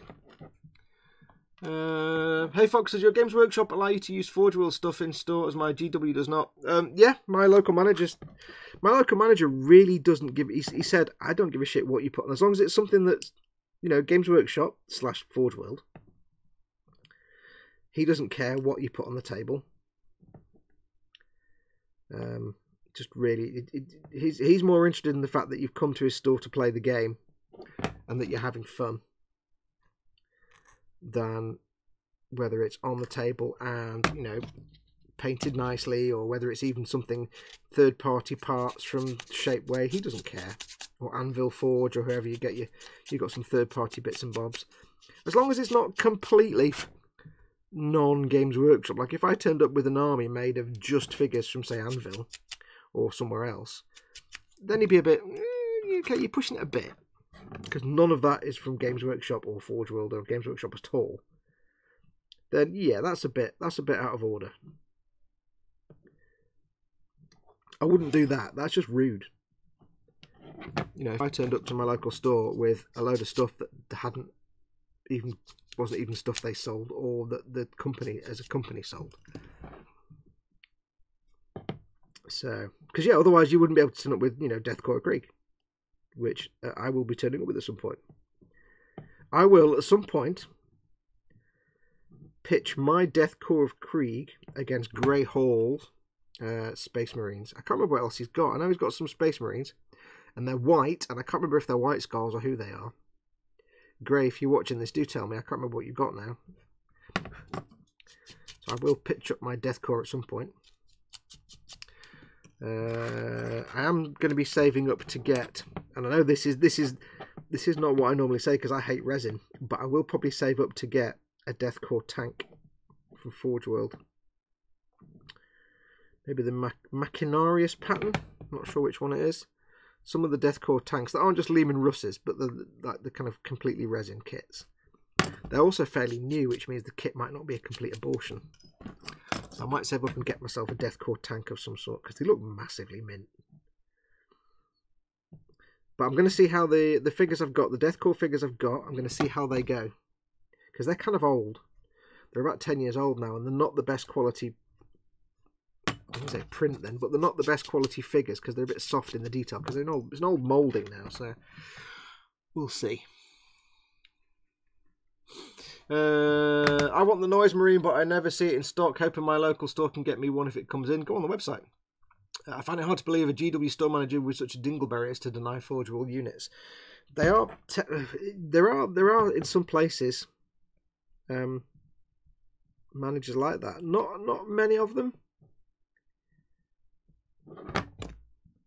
But I think it's more likely you find them maybe outside the UK because I know in I know in the UK the managers I, I don't think every store manager is employed by Games. Workshop. I think some of them are actually just franchise holders. I think I could be wrong. If anybody watching happens to be a manager of a Games Workshop store in the UK, do tell me. My understanding is it's kind of a franchise thing, but you have a direct connection to Games Workshop, or you might be employed directly by them. Um, whereas I guess if you're overseas, it might not be such a direct connection, so they may want to more directly profit from you know selling the stuff that you're using on the table. But then again you get a lot of stores uh, you know where they actually charge you to use their tables. Whereas if you go into a games workshop you don't have to pay to use the tables.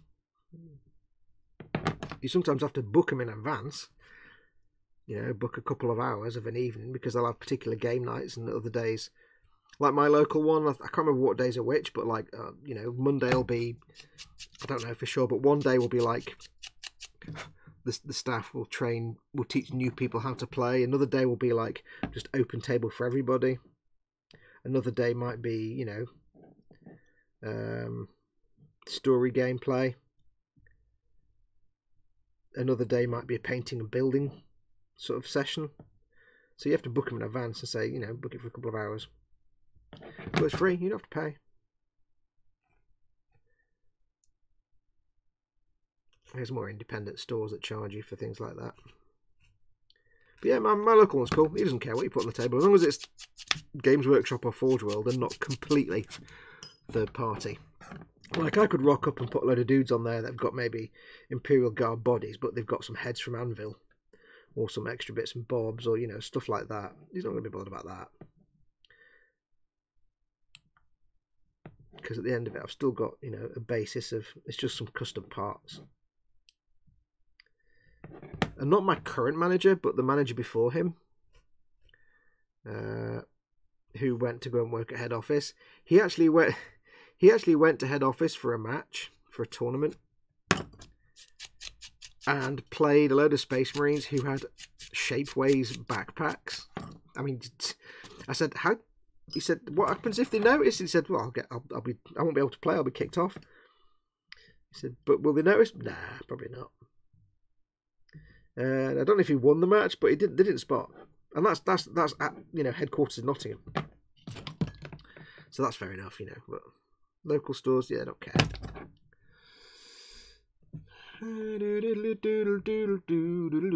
I guess the difference between a Games Workshop store and a Warhammer store. Um, if I remember right, they're all Warhammer stores now, or they should be. I think games again. I could be wrong. I don't know that much, but uh, my my impression was that they're all they've all been rebranded as Warhammer stores because they don't tend to sell anything other than 40k and Sigmar. I know some sell the Lord of the Rings stuff. My local doesn't.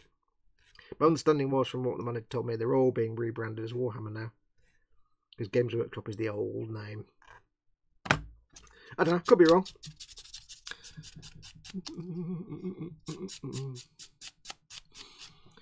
Uh, oh, Gross Models, do you have a show too? Tell everyone about it in case they don't know, says Gross Models. Yes, Chris at Gross Models has um, totally stolen this idea from me. Totally jumped on my on my coattails.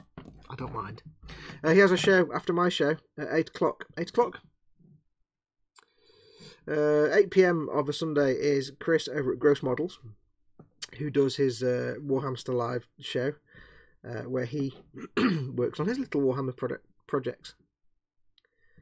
Uh, so do uh, go along and subscribe to his channel as well. And when you've had fun watching my show, which finishes about 6 pm, go and have your dinner, go and have your tea, have a cup of coffee watch a bit of telly.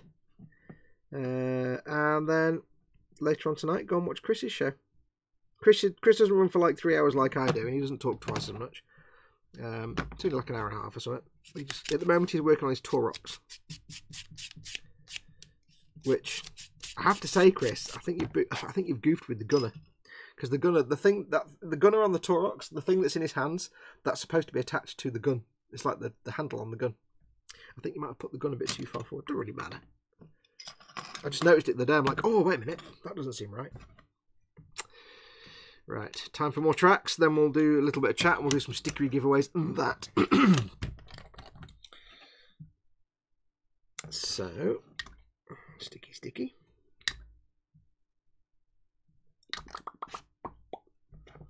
Do do do do do do do. I'd actually make inquiries at my local Warhammer store recently, actually, about doing um, doing some painting classes there, running some painting classes, just little beginner things, you know, how to apply paints and just real entry level stuff. So I must remind them of that. Might do that at some point, maybe. Maybe, maybe. I don't know. Right, so this needs to go that way, which is the biggie one. Do, do, do, do. Big, no, that's too far forward. Now, you've just seen me do this, and I'm still going to have to look at the instructions to do it. So, biggie, let's one to one.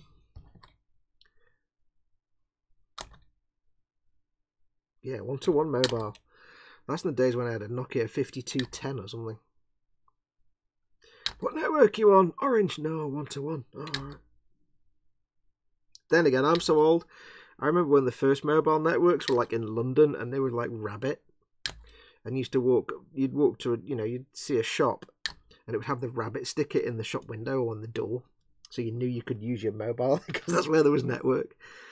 That was the uh, really early days of mobile phones. Really early days.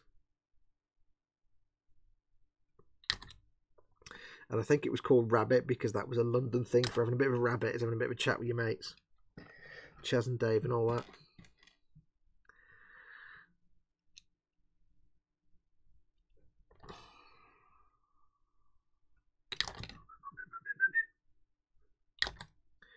Do do do do do do do one, two, and one.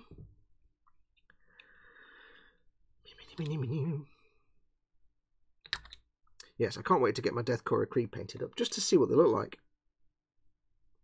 I do love the look of them. I absolutely adore the look of them. It's like World War One German soldiers with French greatcoats. Fantastic. Um, but I just I want to I don't know I'm dubious about the quality. I did mail because I got the figures. I've got ten little. It's uh, ten Death Korps Krieg firing, I think. Uh, and they look really nice, but there are some soft details here and there. It's, it's all resin, so I mailed uh, Forge World and they said because the thing is about Forge World, they have a fantastic reputation. If you get something from them and it's a bit wrong, or it's knackered, or it's warped, or you can't repair it, they'll just replace it without any question whatsoever. They're just yeah, we'll replace it, no problem.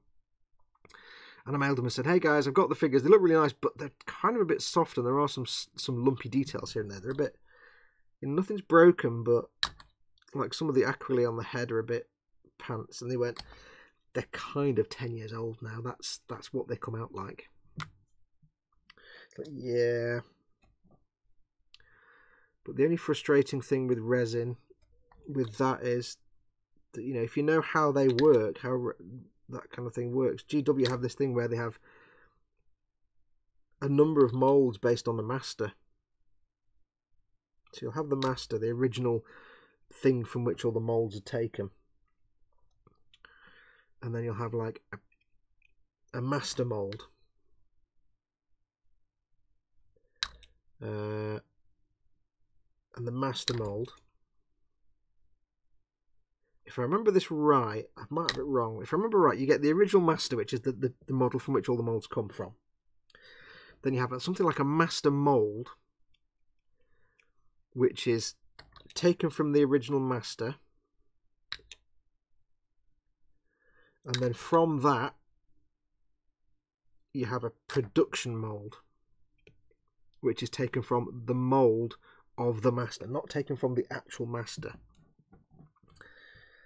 Uh, so what you get is you have the master model, you have the master mold, which is only ever used once to make another mold, and then that is locked away in the vaults and never seen again.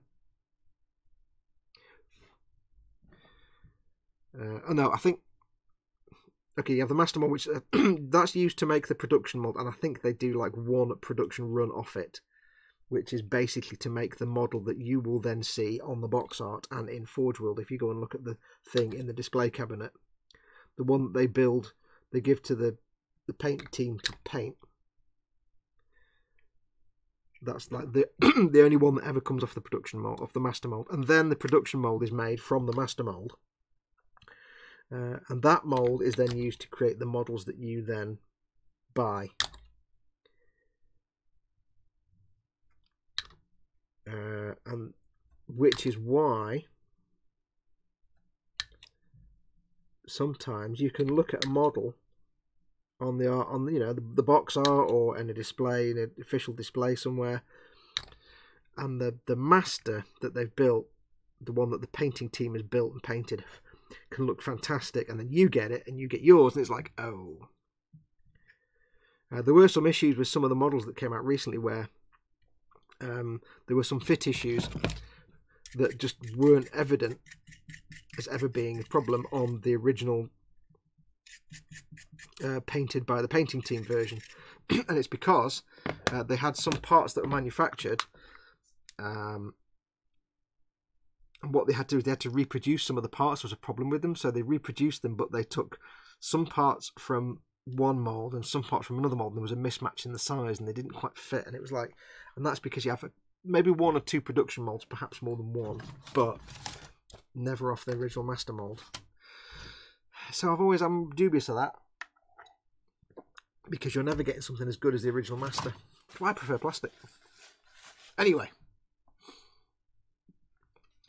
um, Cy Reynolds. Oh, hi, Cy. Cy says, Fox, we're pleased to know there are three people from Canada in the Secret Santa thing. Yes, if uh, I meant to mention that. If you are, I don't know if it's closed now, I've forgotten. If you're not a member of the Boom Hut already, if you don't know what the Boom Hut is, do pop along to the Model Makers Boom Hut on Facebook. It's facebook.com forward slash groups forward slash model boom hut. Uh, I shall type that in the chat. Uh, it is Facebook.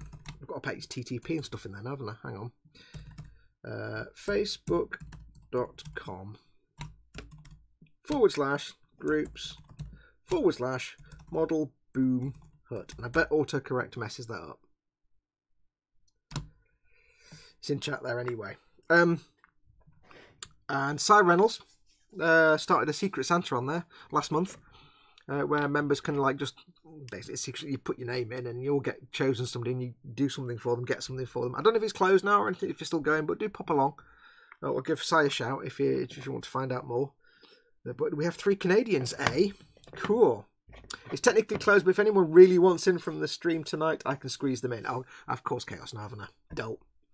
Uh, Vincent at Mr. Loth has popped the link in. Thank you, Vincent. Didn't make an arse fit like I did. Also, Paul from Team Inept did it but did it as ineptly as I did, so it wasn't a link. Hey. Um, let's have a look. Uh, Nobody talks as much as Fox, says Chris. True. Oh, come now, Fox. You're better than entry level. I'm sure you could teach at learn advanced techniques. Thank you very much. Oh, wait, wait. You meant teaching. Thanks, Paul. Right, we'll do some uh, do some giveaway stickery giveaways in a moment.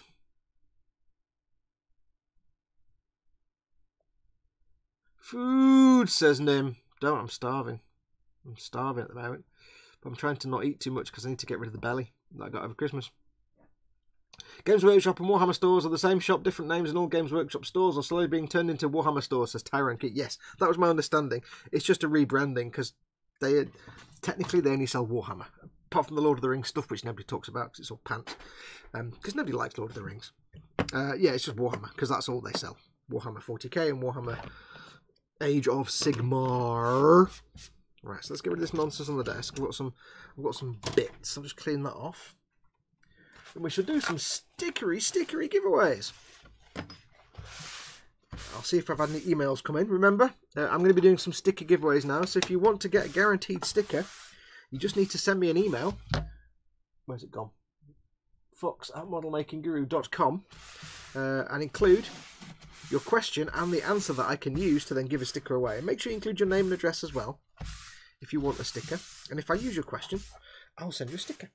If you don't include your name and address, or if like Dave Barker, you don't include the actual answer to the question, idiot, um, then I, obviously I won't send you a sticker. Uh, we doing now? Ooh, stickers. Paul Di Tommaso. Hello, everybody. Hey, Paul. Welcome, dude. I've built. I've built that so far. Some tracks. You may get a flashback to the last show where I built some tracks. Yeah. Uh, today we're doing, or we started doing, the Hydra or Wyvern. But I think I'm gonna do. I'll, I'll do the. I'll make both of them. But yeah, not got not got very far. Sorry about that. Right. Have a quick look at the email because JS Ido has just sent me an email. Doodle doo doo doodle doodle doo doodle doo doodle doodle doo. Uh, oh, uh, Mark Dale has sent me a picture of Max. Hi, Fox. Looks like you have a new follower and Max, a new hero. Trip to Warhammer World being organised. yeah, nice one. Yes. that was the terrible. Thank you for the picture. Hi, Max. If you remember at the start, he told me he was nagging him to go to Warhammer World, so I said, keep nagging your dad. Never tell me you've got someone I need to influence, otherwise I'll influence them. Uh, okay, right, brilliant. We have, uh, we have. There we go. Please send two. Thanks, Jeremy. Got your questions right. We have three stickers to give away.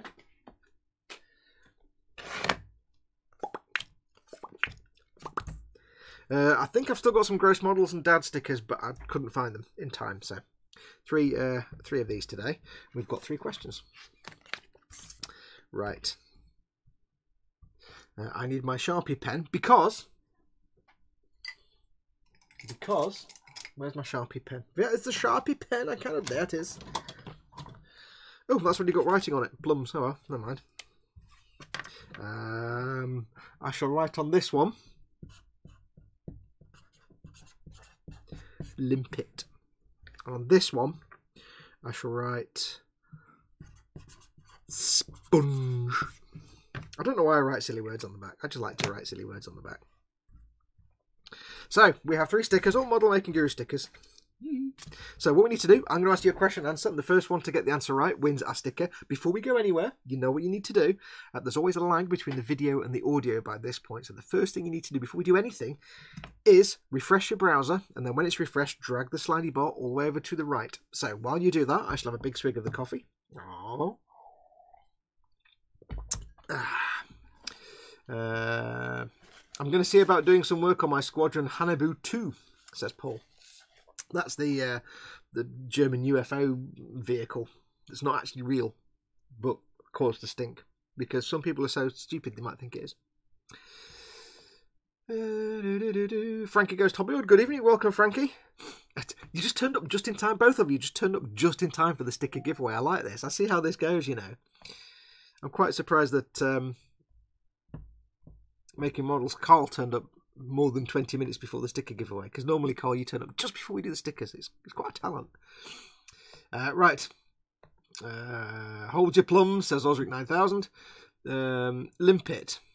For uh, model making guru did you read the infernal machines novels recently or was that just coincidence? Um, no i've not read those books. I have no desire to read i don't read books. I'm far too lazy. Haven't seen the films either. I like the word limpet it's a great word uh, oh, there's a Radio Merseyside listener, eh? Says Osric. What? What? Hold your plums. Jolly FM coming in your ears. Right, I'm sure you've all refreshed by now. Uh, so, are we ready? We have three questions. Um, okay, we have three questions. Uh, I'll get my brain working. Hang on, brain. Right. Is everybody ready? We've got um, one Warhammer, one definitely not Warhammer, uh, and one also definitely not Warhammer. So, first question. Everybody ready? What do the Tau in Warhammer? What do the Tau or Tau fight for? Go.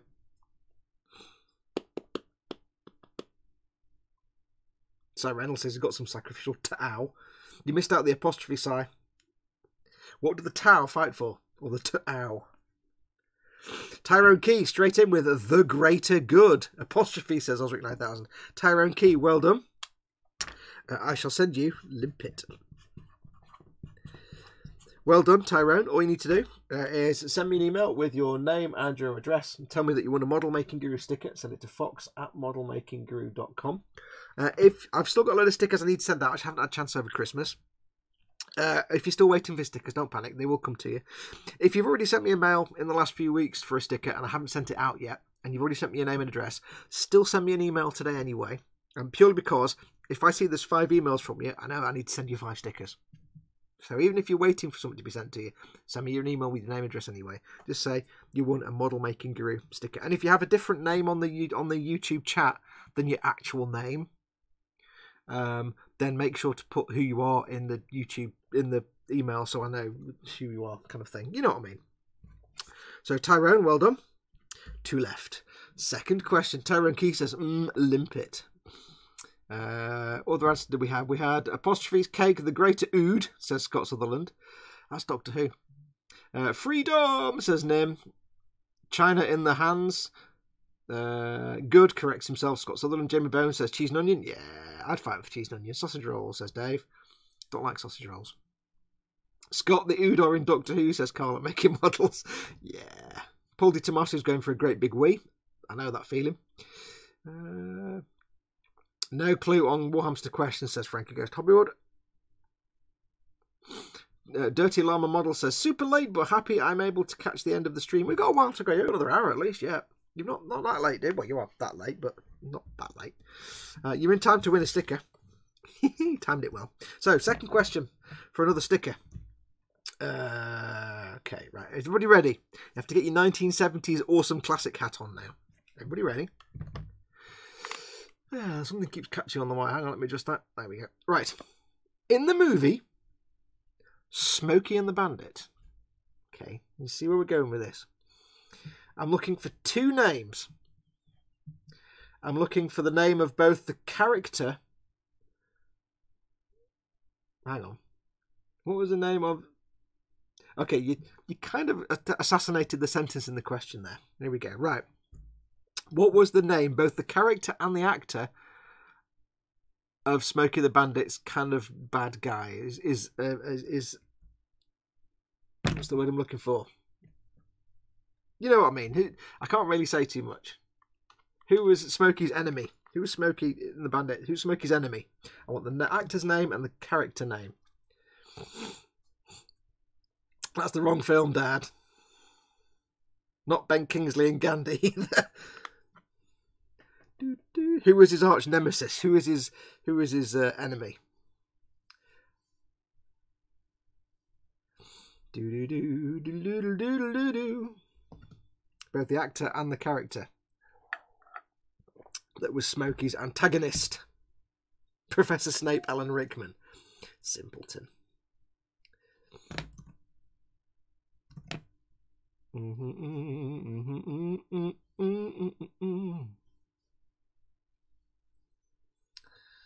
Team Inept, shut up.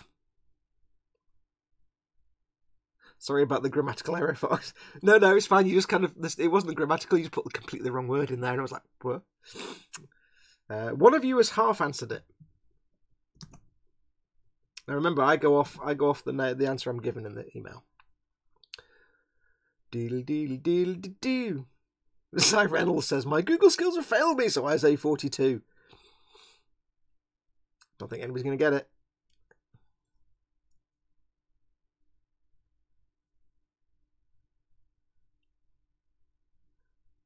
Nah, nobody's going to get that one. Right, well, we'll call that one dead on arrival. Uh, one of you did get half of it, uh, but I can't give you half a sticker.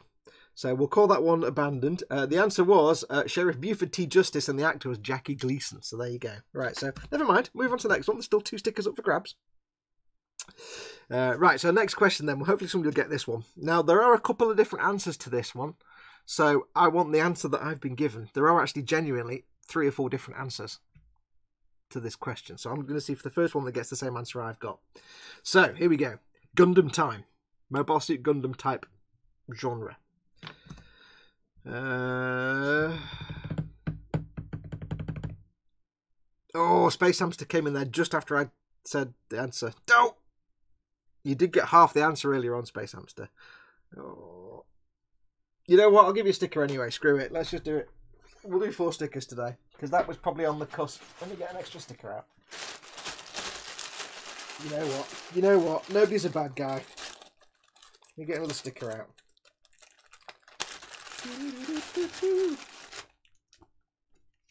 Butts and Aviad. yeah, I don't always send somebody a sticker when they win. Right, so if you know me, you know that what I used to do was write people's name on the sticker and then send them a completely different sticker. So that was Space Hamster. There we go, Space Hamster. Now, Aviad will have had his sticker, don't worry. It just means I would have sent him a different sticker. So Space Hamster, I'll give you that one. Send me an email with your name and address. Uh, tell me that you want a model making guru sticker and I'll get that sent out to you. There you go. I'm a good guy. Right. Uh, okay, Gundam question. Still got two stickers to go. Gundam question. What is the name of the armor alloy used on a Gundam? Go. Basically, what is the what is the magical space material that they came up with that Gundams are made of? Now there are different answers to this. There are multiple different answers. So I want the first one to get the answer that I've got here in this email, which is correct, but it's one of many. Uh, Dirty Llama Model. I, I think I said that Welsh then. Dirty Llama Model says Gundanium. Uh, and that's the answer I've got here. So Dirty Llama Models, well done. I keep wanting to say Llama, like Welsh. I don't know why. Uh, I'll give you plums. Dirty Llama.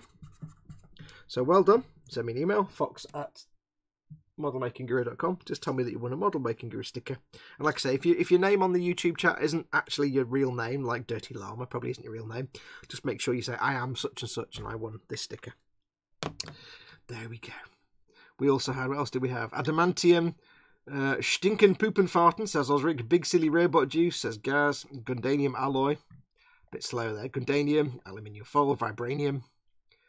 Most are plastic, says Bur- Borry Models. Well done. I like that. Plort says Team Inept. Lol. Uh, right, so there we go. So we've got one left now. Sponge. See who can win Sponge. So we got uh, got some questions from.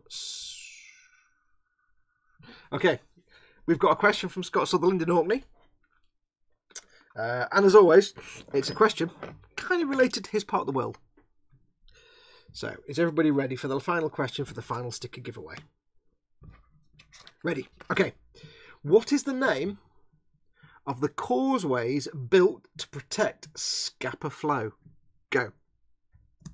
What is the name of the causeways built to protect Scapa Flow? You can guess there's a World War II vibe going on here. Scapa Flow, there's some causeways. What are they called? More puffins, says Dad. I'll just get I'll just get um, Guthorm on there. He can maybe give you some ideas. Just checking out sticker goodness. No, Scapa Flow Causeway. It's a bit more, bit more in depth than that. That'll be a bit easy. Uh, uh, Dad is straight in there with. I think that's the first one. A puffling says Nim Cinderin. Scapa Stopper Deflow says Team Inept. Uh, yes, Dad says Churchill Barriers, followed by Cy Reynolds saying. Churchill Barriers. Dad, well done.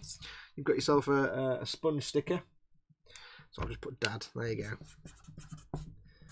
I know I've got your name and address somewhere, but send me an email anyway with your deets because I'll need it to remind me to send you a sticker. So there you go. Well done, Dad. Four stickers given away, and all I can smell now is Sharpie because I left the lid off like a spoon. Woohoo! That was a bad move. So well done. Well done, you see. Gave four away today, not three. Coffee time. Because I'm a big softy. I could not give out that extra sticker because it really was a question of a couple of seconds either way. Uh, I'd watch a model making puffin live stream, says Candy Grant from Mongo. Yes. Cy Reynolds says curses to dad. I don't know what I'd, I could just what just put that there and leave it there for ages. Just have him looking at the camera. Just have him looking at the camera like that, so you can't see my hands, and just like looking around, doing nothing for like three hours. I get kind of bored. Anyway, yes. So, well done to all the stickery winners. Uh, still not doing the wheel of giveaways just yet. If you remember, we've not done that for a few weeks now, and I did say uh, going back to I think November last year, uh, early December. I'm just taking a break from the wheel of giveaways for a little while, purely because uh, it's not cheap sending all these prices out, and I'm trying to get my finances sorted out. Um, so I'm just trying to get myself back on my feet a little bit. Uh, so it's coming back. Don't worry. Wheel of giveaways will be coming back because I've got a big stash of stuff to give away. I just need to wait till I can more easily afford to send all these things out to you. So keep your eyes open. Uh, in the next few weeks, probably we'll have some more giveaways because I've got some really good stuff to give away. Here's an announcement as well. Here's an announcement. Um, if you look at my YouTube channel, you may notice it's creeping up to 20,000 followers. I'm about 500 off or something. Um, this isn't a plea for people to suddenly follow me because you're all following me anyway. However, I will be doing a giveaway when I hit 20,000 followers. And I think I might be giving away something rather special. I might be giving away something really special. So stay tuned. Uh, probably in the next couple of months, I would guess, next month or so. When we hit 20,000 followers, I will be doing a very special giveaway. So stay tuned. So, where are we up to? Let's have a look. Uh, shoes, congrats, Fox, says Jez. Oh, no, they are about 19,500 at the minute. Uh, yay, says Nim Cinderin. Woohoo, says Paul Di Tommaso. Lol, says Dad buy some pigeons for delivery prizes. Yeah, it's, it's I love doing the giveaways because I love giving you guys stuff and you can win things. It's just I'm getting to the point now where all the prizes are kind of big. They're not little boxes. They're like they're kind of like big things now. It's like yeah, it's going to cost me like thirty quid to post it. So I don't mind. I'm, I'm not going to complain about doing that. I'd much.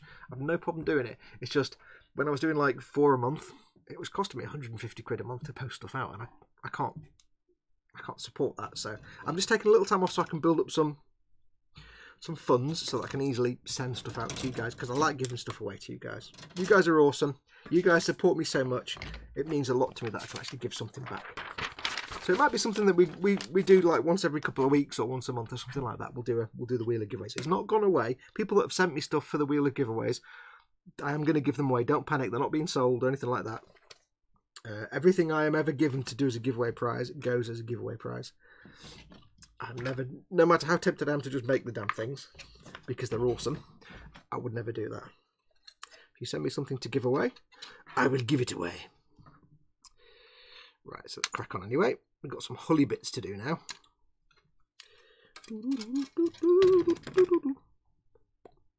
So yes, when we hit 20,000 followers, I'm thinking something something very special, I think. Something very, very nice. I don't know for sure. I'm not 100% sure but I'm thinking potentially, maybe something Ver.Ka. Maybe we'll see. We'll see. I'm not. So don't take it as absolute red. It might not be anything at all like that. It might be, possibly, something Ver.Ka. Oh, look at the big nubs on there. I'm not using my expensive God Hand nippers on those. No, no, no, no, no. Pating Pating. Pating. Where's my where's my throwaway nippers? I don't want to use my expensive god hands because I'll break them into a thousand pieces. Uh, we'll just gently nip them off there, and we'll nip that off. That's not going to cut there, is it? Let's do it there. The downside with these Games Workshop things, sometimes they put the piece so close to the sprue that you can't actually get in there to get it off. Uh, so we need those three pieces. Eins, zwei, drei, das ist richtig. If it's what I think, bro, I'm completely fine with that, of course, says Cy Reynolds. Uh, I think it, I might be. I might be thinking the same thing. If it was one you sent me as a giveaway prize, I was just thinking because it's in my giveaway stash. I can't remember. I'm not sure though. I have not decided yet. Um, but there are some, there are some awesome things in my giveaway stash. So we shall see. We shall see. Though I don't think I can't remember if that was in my giveaway stash or not. I don't even know if I'm talking about the same thing. I don't know. I've actually forgotten what's in my stash now. So yeah, Have, I need to have a look through my giveaway prize stash and see exactly what's in there. It would be uh, ironic if if you actually won the thing. That'd be quite funny, really. Uh, you can cheat and give away a Gundam Wing Endless Waltz Master Grade. Those are all Katoki designs, just not branded and priced as such. Yeah, they're a bit small. They're not that fantastic. I've actually, I say, I've got to. I don't want to say out loud what I was looking, thinking of then, purely because I was looking at what's right in front of me in this room right now. But I know in the other room there's a stash of other giveaway prizes, so I'm not fully sure what is in my giveaway stash off the top of my head. Because I've not looked at it for a little while, so I need to go through my giveaway pile and see exactly what there is for me to give away as a little little nice treat. I need to go through my stash and see what it is. Uh, but if it's not what I'm thinking it might be, it'll be something nice. Just to celebrate, you know, 20,000 subscribers. And I was really heartened, actually. I have to tell you, I was really heartened. YouTube did a thing recently where they, if you're not a YouTube channel creator, you won't know this, but we all got a thing on our top of our YouTube screens whenever you logged into YouTube as a creator saying, hey, we're going to be going through and getting rid of duplicate and fake and dead accounts and spam accounts. So you might see a drop in your subscribers as we get rid of all these false accounts. Because, you know, you get lots of like automated bot accounts and things and if you've got a channel with subscribers, you can't guarantee all of those subscribers are actually real people or real channels that have subscribed. Uh, so it just said, "Hey, we're going to be doing this, so you might you might lose some subscribers here and there, but don't panic. It's just as getting rid of non non real accounts." Um, and I lost apparently none. It's fantastic. So it means that all my followers are all real people, which is fantastic, and I love it. So thank you very much. But talking of winning cool stuff, don't forget, of course, uh, the um, Stream Boss Battle. If you want to be in with the chance of winning a couple of hundred or more quids worth of cool Warhammer stuff, get playing the Stream Boss game. Aviad is the current Stream Boss. Our Stream Boss is lording it over us from sunny Israel right now. Uh, if you want to try and be in a chance of winning stuff, if you want to know what you need to do, all you need to do is whittle away Aviad's health till it gets to zero, and then you'll become, if you get him to zero, you become the new stream boss. And you can win two or three hundred quid of good stuff, either Warhammer or, uh, sorry, Games Workshop or Forge World stuff. Basically, you just need to knock his health down by either subscribing to this channel if you're not already a subscriber, subscribing, hit the notification bell, that takes a little tiny bit of his health off. Uh, or you can put a super chat, which is the little dollar symbol at the bottom of the chat window. That also knocks a little bit of his health off. Or, if you want to, you can do a tip through the tip jar, which is the bottom of the screen down here. Where is it? I know where a camera is. Uh, streamlabs.com forward slash model making guru. Keep in mind, the bigger the tip or the bigger the uh, street, the uh, super chat amount, the more health you take off him. And you all work together as a group basically to try and get his health down. And whoever hits that magic one that takes his health to zero, all that money raised through the tips and the super chats sits in a pot.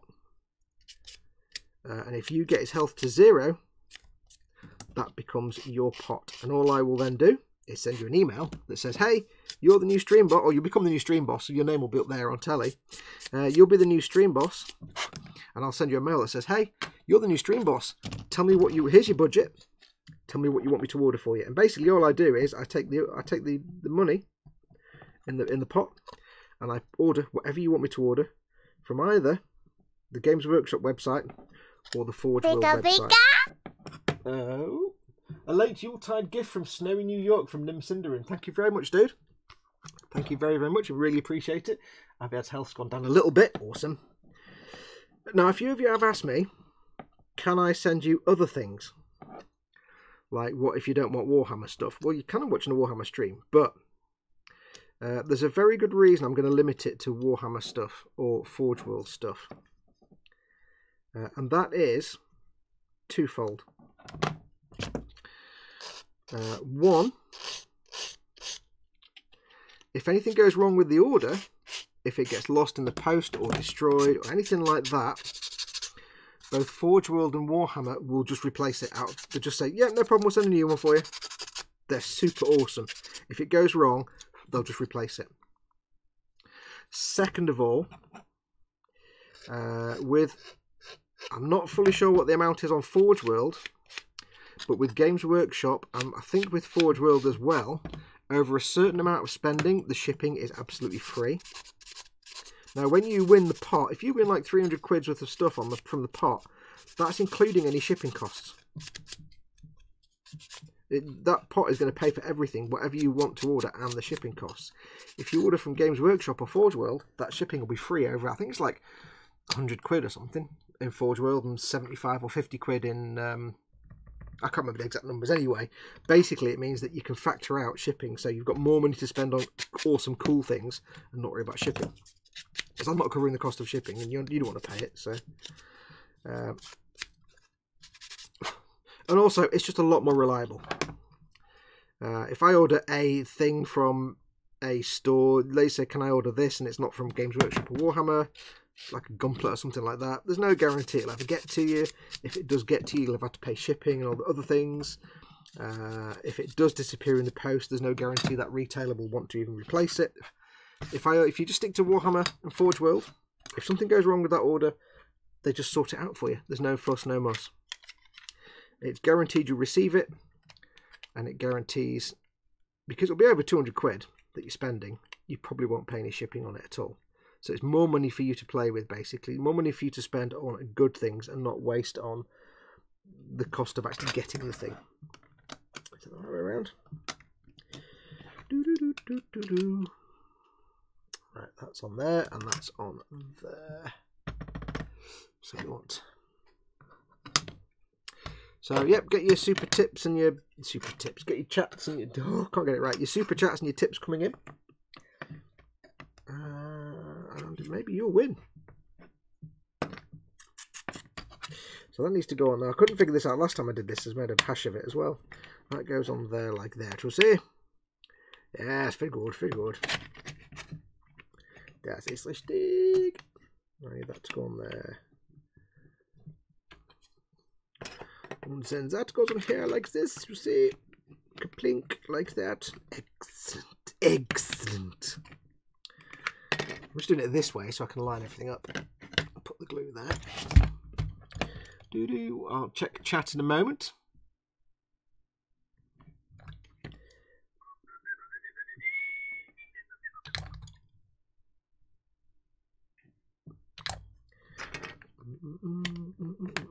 Oh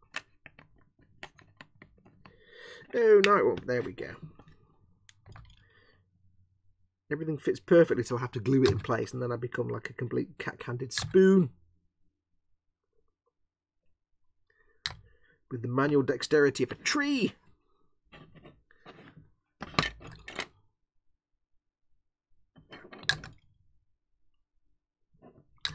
Doodle doo doo doo doo. Oops, Daisy. Doodle doo doo doo doo doo doo doo. Can go on there. Like that and like that.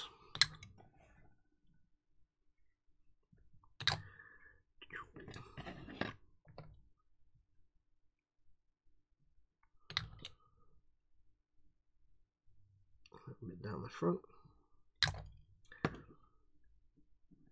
I don't want to squish these together too hard because you get glue sploobing out and then it looks really ass on this front panel here. I don't mind it having a gap because it looks like it's just been two plates welded together, but I don't want it to look like complete ass either, so.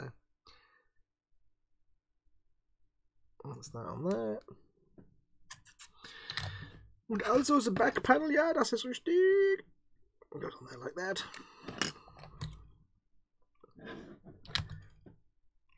Mm -mm -mm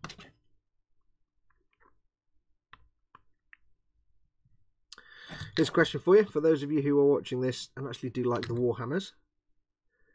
What would you like to see in 2019 from Games Workshop? Be it 40k or other. What's on your wish list? As always, my wish list is Plastic Death Korps Krieg. That'd be fantastic. Plastic Death Korps Krieg. I just love that. Be like, wait, I can have Death Korps Krieg, but in plastic, so no fussing, no mussing. I'd be so happy with that. Because I was looking at the quality of, like, you know, the Tempestus Scions, and they're beautiful little sculpts. Apart from the stupid nonsense with the split arm, which is ridiculous. But they are beautiful little sculpts. And if they could do that with the Deathcore, oh, that'd be just oh, divine, darling. Don't have to fart about with the resin. That'd just the best thing ever. Uh, and there is a bit of a precedent for it. You know, the Baneblade, like we said before in the show, the Baneblade used to be a Forge World exclusive kit. Until it suddenly wasn't, and you could get it in plastic. And it, I do wonder what led them to do that, other than everybody wanted it, maybe, and thought there was money to be made, which is the most obvious answer. And they managed to make it so that the Baneblade itself is now a past plastic kit, but you can still buy variants on exclusive variants from Forge World that you need the Baneblade plastic kit for but they have some resin parts. But yeah, that was quite a move they made. It was like, make sure that's flat. It was like, here's the Baneblade. It's a plastic kit. Yay, flatness. I love that book. nice little notebook, little present there. So I'm going to leave that to sit for a second. My stomach is rumbling like a category 4 thunderstorm, and I don't know what that even means, but it's rumbling like Billio. Uh, what is chat doing? Uh, yeah, but Wing Proto Ver.Ka is amazing, even if smaller than say a Strike. Yeah, it's still Wing though. I don't. I'd much rather give something away that's more, more. Yeah, you, you're right. Team Inept says nineteen thousand five hundred utter dafties. Yes, but lovable utter dafties. Uh, I'm a replicant, says JS Idaho. Ye gads, just used a whole bottle of paint on a torpedo room, says Dad. Yes, Dad, Dad, Dad's, like I said before, Dad's making his 148 scale U boat. It's the size of a house. Uh, it's the size of a house. Whoa, whoa. Bit of madness there. Uh, at my next build night, I shall pimp your page. I already have a couple of people that actually build Warhamsters, says Nim. Thank you very much. Very kind of you. Uh, um, uh, Dad, is it bad that I always read Ye Gads in the voice of Pinky from Pinky and the Brain? yes. yeah, now I can hear that in my head now. Uh, Paul Di Tommaso, my Warhammer, my Warhamster is slowly coming along. Jolly good. Pictures in the boom up, please. Uh, I've wondered how much it might be cost just to paint one of those giant models. Says Candygram for Mongo at Dad. Painting is it, it's four foot long, so yeah, it's uh, take quite a lot of paint. It's the it's the kind of model that if it wasn't miserable outside, I would be very tempted just to buy two or three rattle cans of Tamiya paint. Um, when I did my 7C U-boat, it was 172nd scale, that was three foot long. Uh, I used rattle cans of neutral grey and German grey, Tamiya rattle cans. Um, and at the time, I didn't want to kill the entire garden, so I basically got a cheap tent and I put a tent up in the back garden and I sat in this tent with a respirator on and I sprayed the crap out of it, the German grey and the neutral grey, to get my two-tone U-boat yeah, that was a good few years ago. And then they put the tent away. I never used it since because I got this tent on the off chance that uh, if I wanted to to paint something, but maybe it was a bit, it wasn't particularly wet and humid, but it was it was there's a chance of spitting or rain. I could still use a tent. I could go in the garden and still spray, but not be affected by the rain. So there you go. Uh, do, do, do, What's chat doing? Uh, I can't read the chat now. It's moved. Hey Fox, have you heard that Games Workshop is putting up the price of their paint and start collecting box? It does not bother me, but what do you think about it? Says Tyrant Key. Um, it's fine. I think they put up the cost of paint like a little tiny bit, like a few pence, like twenty p, I think at the most. Um, and the start collecting boxes probably a little bit on those, but even if they're putting those up at the end of the day, um, you're still getting probably 90 to 100 quid worth of stuff for about fit. Well, currently, if you get one of the start collecting boxes, if you've not seen one of these, uh, if you're looking at getting into Warhammer and you're going to be playing the game, you really can't go wrong with the start collecting sets. Um, it's basically for most of them, it's like 10 or 11 dudes and maybe a vehicle. Like the Astra Militarum start collecting is a Leman Russ tank, um, 10 Imperial Guard, and a Commissar. And I think a Sergeant as well, and a heavy weapons squad. And it's 50 quid. They're all 50 quid at the moment, the start collecting sets. Yet that kit itself, if you if you bought separately the Leman Russ because they're all sets of stuff you can get separately. The Leman Russ and the Imperial Guard guys and the Commissar. You're probably looking at about 80 or 90 quid. So, without exception, all the start collecting sets are worth a lot more than you actually pay for them. But Games Workshop know that. They know that they can get you in. You get a start collecting set, you can start playing the game. It's basically a little small army you can start having little com- combat with, skirmishes and stuff. So you're paying 50, if they put the price up even a fiver now, let's say they put up to 55 quid, you're still paying 55 quid for 90 or 100 quid worth of stuff. So, yeah, that doesn't really bother me. It's still a super cheap way to get into it. I mean, there's a whole argument about Games Workshop's pricing, but that's a whole different thing anyway. Um, if you're not that happy with Games Workshop pricing, you just don't buy their stuff. It's a whole different kettle of fish to normal model making. But yeah, a little bit extra. Uh, Fox, it's 40 quid Games Workshop. What's 40 quid? I've lost. I've got confused now. What's 40 quid? Uh, hey, look, it's a delightful dad's device. I've got a few of them. Got my Hangman dad device. Oh, and this one as well. Yes, of course, that's a dad device.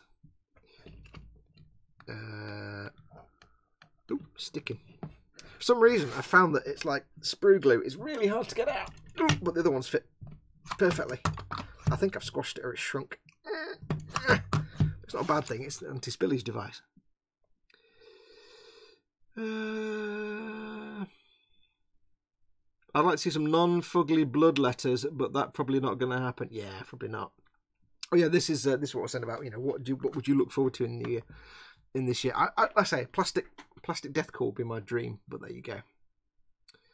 Uh, a, a, lot more Tempestus Scions, but without the two piece arm. I'd love that. That'd be brilliant. A monster for the Nighthaunt, as we only have the Forge World Mourngul, says Butcher that model. Yeah, yeah. The thing with Sigmar, there's a lot of stuff you have to get on Forge World. But then again, Forge, Forge World's not that bad. It's not that bad. If you're not too fussed about resin. I just really kind of have an aversion to resin. Uh, Vincent says revamped Bretonnians in Age of Sigmar or something other than the Order side rather than more Stormcast. Seems only attention in revamping and new models with the evil orders at the moment chaos, death, and destruction. Yeah, true. They do tend to go a lot for the mainstream stuff. Although, like if they're doing with the 40k now with like Genestealers and stuff, hopefully they'll start expanding out to more of the lesser known stuff. Uh, I think what they should do with this with the Sigmar, what they need is more of the start collecting type stuff. In the same way, there's two things you get Warhammer 40k. You get the start collecting, which is your, your entrance drug, your gateway drug, hundred quid worth of stuff for half the price, um, and you get your um, what's the other one? The little the little tiny starter boxes, like the little skirmish sets, like Know No Fear, where it's like ten dudes, five Space Marines, five Chaos Marines, and a little playboard. I know they do have some sort of start collecting stuff for Age of Sigmar, but if they did a lot more start collecting sets and they did a lot more of the little skirmish sets like that as little gateway drugs for Age of Sigmar, oh yeah, they'd in, in, would be a good thing. Uh, Primarch Corax coming back, says Scott Sutherland. Ooh. Full size Titans in plastic, says Osric 9000. Yeah, I'd be all over that. I would be all over that. Wouldn't cost a grand and a half. I would like to see some more Eldar mechs, says LD. Fox, it was a metal kit and weighed a ton, then it went to plastic. What was? You've lost me completely. Is this the the Baneblade? I thought Baneblade was resin.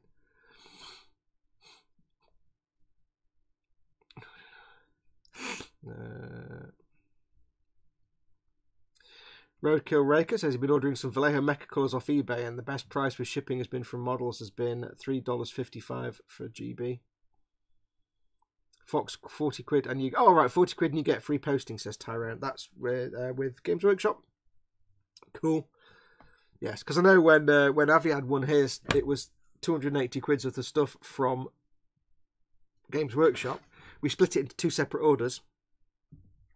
Um, but we it was 280 quid and for both the orders that we split into two of, it was free shipping, and that was me. That was going to Israel, so that's why I'm keeping the the prize for the Stream Boss Battle. I'm keeping it to Games Workshop and Forge World because we do get that free shipping, basically anywhere, and they they send it to pretty much anywhere. So, uh, so for quality and for safety and for just making most of the money for you to buy things, not for you to pay the shipping cost.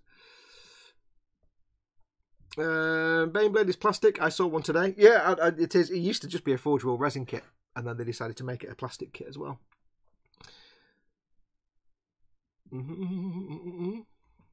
Uh, Vincent says, "Yeah, it's what they are doing with the Gloomspite pre-order set boxes at the moment. Entire armies, even they've got start collecting stuff and battle boxes for everything they've revamped so far."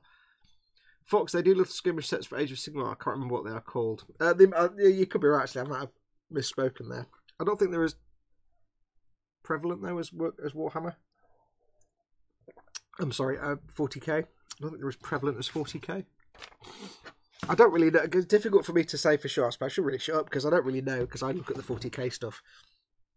When I look at the, the actual Age of Sigmar stuff, it's all just may as well be in a foreign language. I'm like, I don't know what any of this means. I don't know what any of that means. Uh, right, we've got part. Oh, we've got some numbered parts now now we get some numbered parts. Yeah, there we go. Because this is um this is probably the old. Uh, this is probably the same. This is the wow. Hello, words. This is the same sprue from the Chimera and earlier kits. It's not numbered. This is a modern kit, numbered. Yes. Look at that. It's beautiful. Absolutely beautiful. And just begging to be brush painted. I've got to tell you guys, I've got to be really blatantly honest with you guys. I keep knocking the camera, it's really annoying. Um, I've got to be honest with you guys. Ever since starting doing the Warhammers, and I've said this before, I've grown to hate using an airbrush. Because brush painting is fun and immediate and you don't have to think about it. Uh, and it's just more exciting and fun. And I, I like the results. Uh, to the point that I'll try and avoid using an airbrush as much as possible.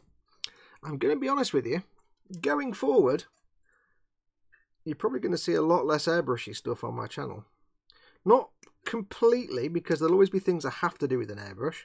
Like, you know, varnish coats, uh, some effects I'll need to use an airbrush for.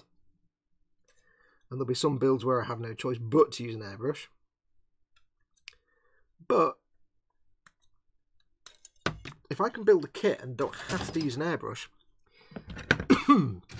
then, for example, excuse me, the Strike Rouge I'm doing at the minute, I use the airbrush on that because it's a nice, smooth, clean paint job. So it's got to look nice and smooth and clean. Uh, however, when I do the uh, Master Grade Sazabi Ver.Ka, which is the build after next from the uh, Strike, then that will actually be a lot of that, if not most of it, will be brush painted because it's going to be weathered and grubby and dirty and a bit battered.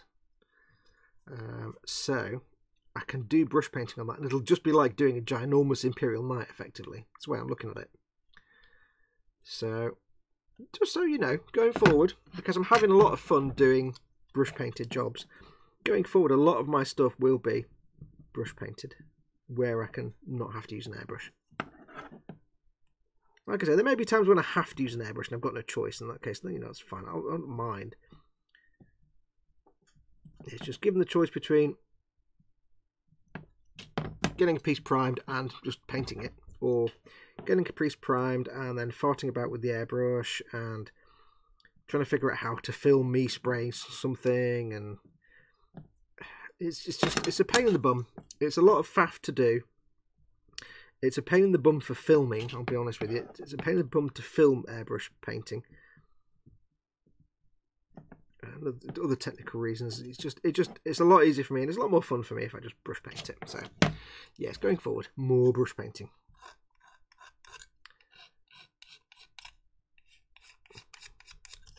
Because at the end of the day, I'm always going to gravitate towards what I enjoy and what I find fun.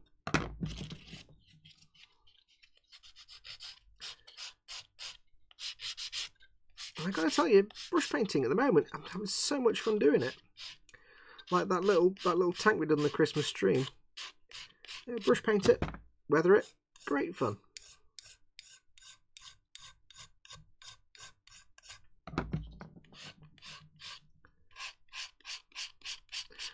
I'm learning a lot of things that you can do actually with brush painting that you wouldn't think you could. Like pre-shading or creating the effect of pre-shading. Who'd have thunk you could get a similar effect with dry brushing? It's, it's great. That's there. How's that looking for scratches? Ooh, a bit few many. Let's just put more sanding on that. Mm-hmm. I will come have a look at chat in a moment. Got quite anal at the moment about getting rid of sanding marks and scratches. There's another reason why I was good that I pre-built and pre-sanded and pre-primed my tank on the Christmas show. I would have been there for hours doing this. It's all I would have got done in the show, so.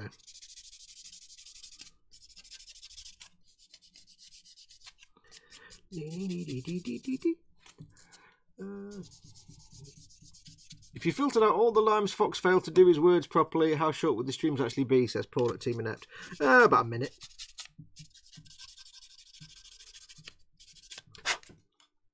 There you go, much better. Just got to start collecting Seraphon, the old world lizard man. 21 miniatures, 8 mounted, and one huge dinosaur with angry dude on its back, says David Butcher, that model. Cool. Dave likes his Age of Sigmar stuff. I quite like the scave, look of the Skaven. If I do get some Age of Sigmar stuff, I probably wouldn't play it, but I do quite like the look of the, the Skaven. The rat dudes. It appeals to my anthropomorphic sense. Uh, Fox, the Bane Blade was resin, then metal, and fine. I didn't realise it was metal. Wow. God, weighed a ton. Metal Bane Blade. Holy crap.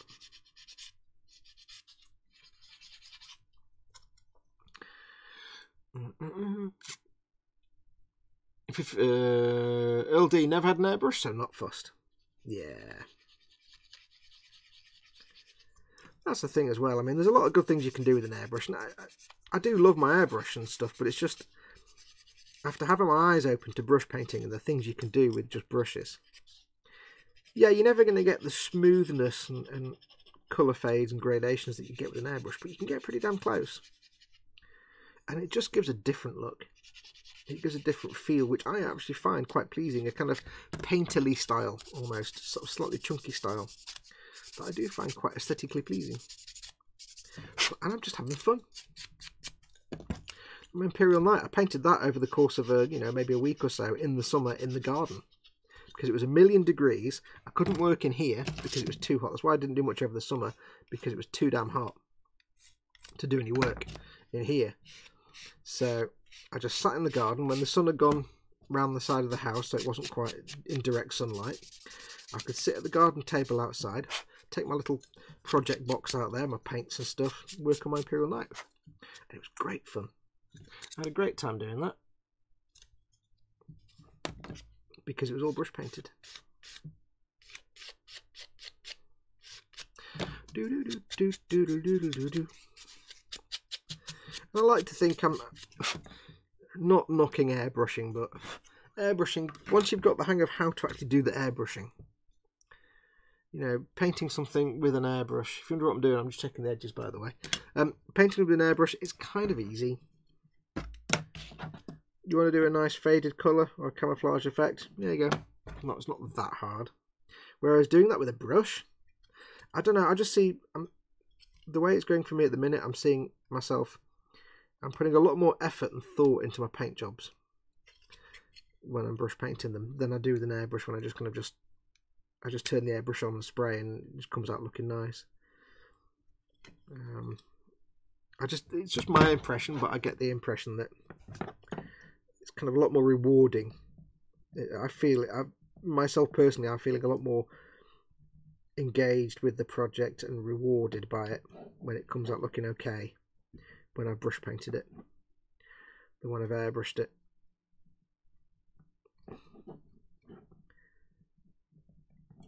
Because when I've airbrushed something, just, all I can say is, well, I pulled the trigger. Meh. There you go. Yeah, you get a nice smooth finish with a brush job. Pff, takes a lot more skill than just pulling a trigger. I don't know. I just I just feel it's I'm, I'm having to think of a lot more creative solutions to things by just limiting it to brush painting.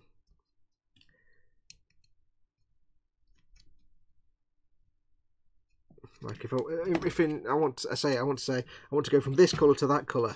If you're airbrushing it, you just airbrush it. There you go. You've faded, no problem. If you're brush painting it, thinking of how the hell do I do that? For, uh, where's the chat doing? Actually, like using the airbrush on larger minis like that creature caster thing I posted on the Boom Hut recently, you can be loose and just get cool effects really quickly, says Space Hamster. Yeah, I mean, this, I, do, I do still have some good fun with the airbrush. But I, in my old age, I'm getting lazy and I can't be doing all the faff. Don't get me wrong, an airbrush, a beautifully airbrushed model will always look vastly superior in a lot of ways to a beautifully brush painted model, just for the pure quality of the finish. I don't know. It's kind of the old analog versus digital argument for people that record, you know, music, that kind of thing, really. I'm having a, a blast doing brushing, whereas I've kind of got bored of airbrushing because it's, it's like autopilot for me now. For me, it just feels less creative. But I'll go back to it.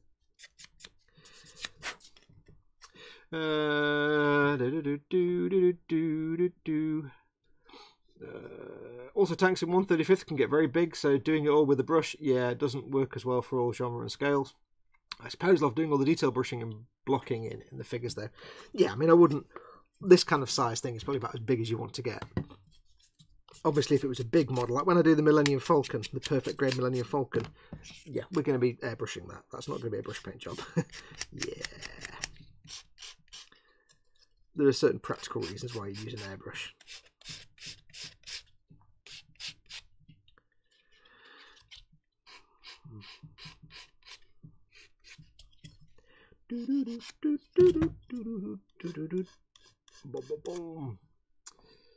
Uh, to be honest, Dave, I think that's a bit black and white. I enjoy, but uh, wait, what? Me- Mephiston Red is for Blood Angels and Liverpool fans. Lol. Hang on, stop. I've missed a conversation here. Dave likes Age of Sigmar because Dave is right, says Paul. Airbrushing and brush painting is like music on CD or record. You will love one or the other, says Dave. Yes, exactly. I was just saying a minute ago about the analog is digital. Uh, Mephiston Red, correct. Oh, Paul says there's no way of being able to do that power armor helmet with airbrush. That w- that would have taken forever. Thank feck for Mephiston Red rattle cans. Mephiston Red correct says Dad because Dad's a, a Liverpool fan or something to do with football. I don't know, and also he likes the red stuff. Mephiston Red is for Blood Angels and Liverpool fans, says Dad. Uh, says Dave. Dad says lol. We're having a football conversation now, so I've tuned it out. I don't understand any of it. CD is okay in the car, but you can't beat the crackle of a real record. You can't really play, can't really get a, a 72 in the uh, in the car.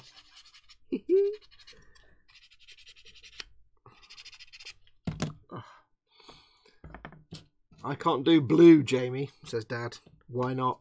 Says Jamie. It's a football thing, Jamie. He's a Liverpool fan.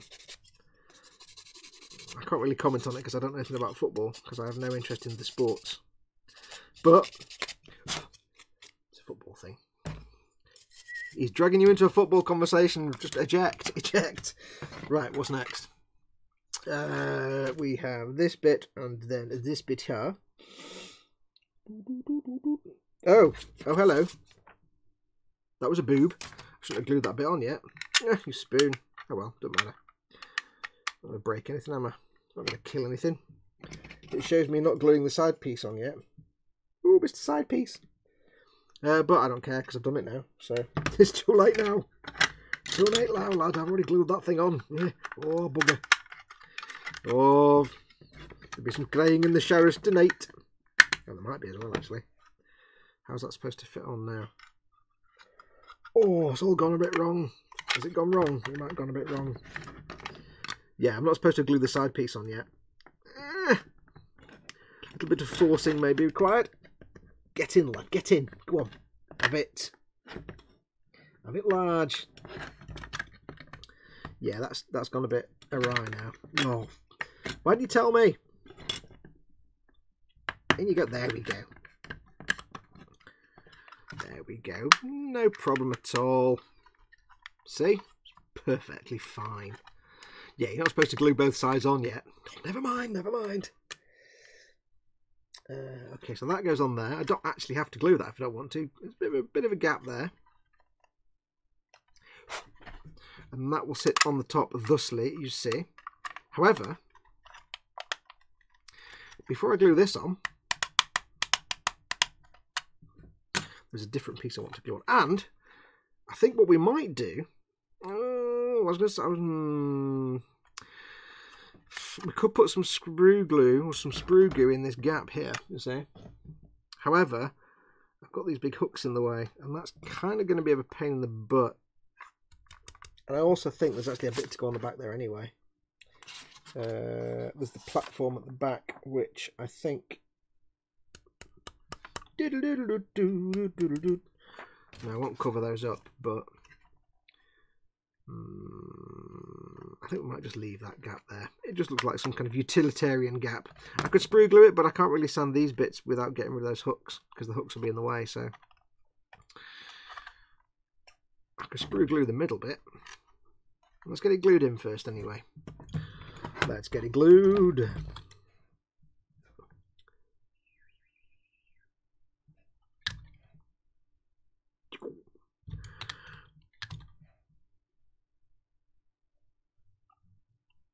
-mm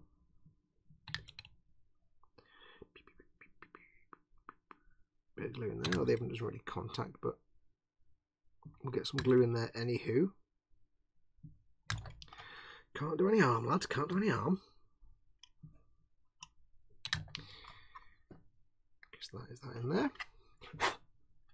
Now, what I want to do, or rather what I don't want to do, just yet necessarily glue this on. Because the issue we have here is that once I put this on here I can't get to that to paint it. And also there's a little wheel that needs to go on here anyway so I'll do that bit now. Little spinny wheel. That's not going to glue at all is it? Never mind. It's fine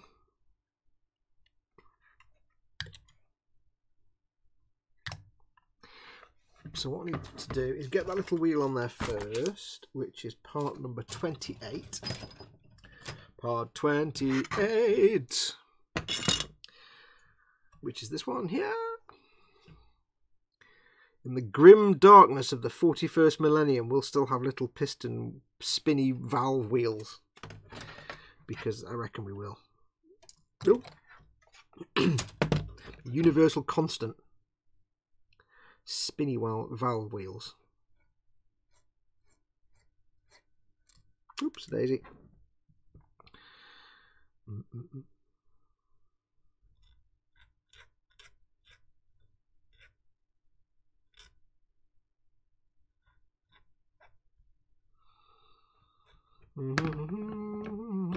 What I like to do with these little round things, apart from ping it across the desk over and over again, is uh, just round off the nub. Not get rid of it completely, but keep the keep the your sanding device moving over the curved surface. Don't go straight because you'll just flatten the curve. And then go in with the sanding stick, get a sanding sponge that will squish to the shape. That way I can sand it smooth.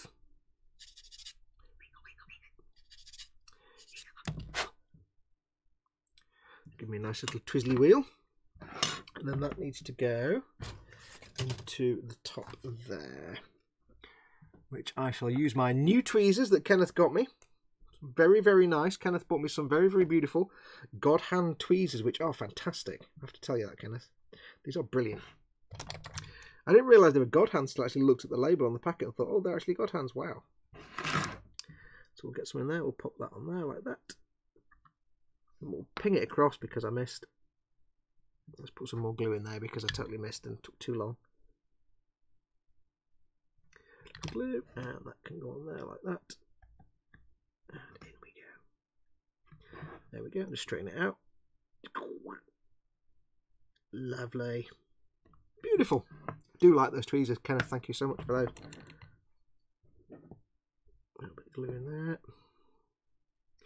So,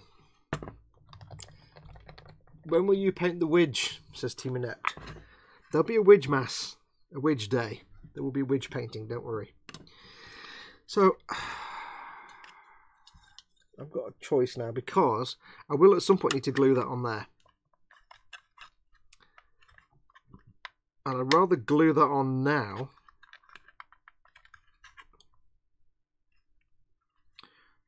so I can deal with any squidgy glue effects. Because if I paint all this and then try and glue this on, it's just going to make a mess with the glue going everywhere.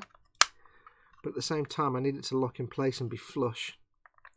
Now it can, so it does sort of go flush without me, but you get this big gap. I want to be able to pin it down and glue it in place. Mm, but I can't really do that. So I don't want to make a massive mess. I've got this choice now. But if I do glue this on, it's going to be hard to get in there and paint that little cylinder with its little valves and little displays. Which I would rather paint. To be, I mean, there'll be a lot of equipment on here, but I'd rather paint it if I can. So I'm torn now. I do not know. I do not know. Uh, then again, I, I might be able to get a brush in there. Yeah, I probably can. Yeah, I probably can. Yeah, I should be right. I'll get a brush in there. No problemo. People are talking about widge painting again. Honestly, you boys and your widges.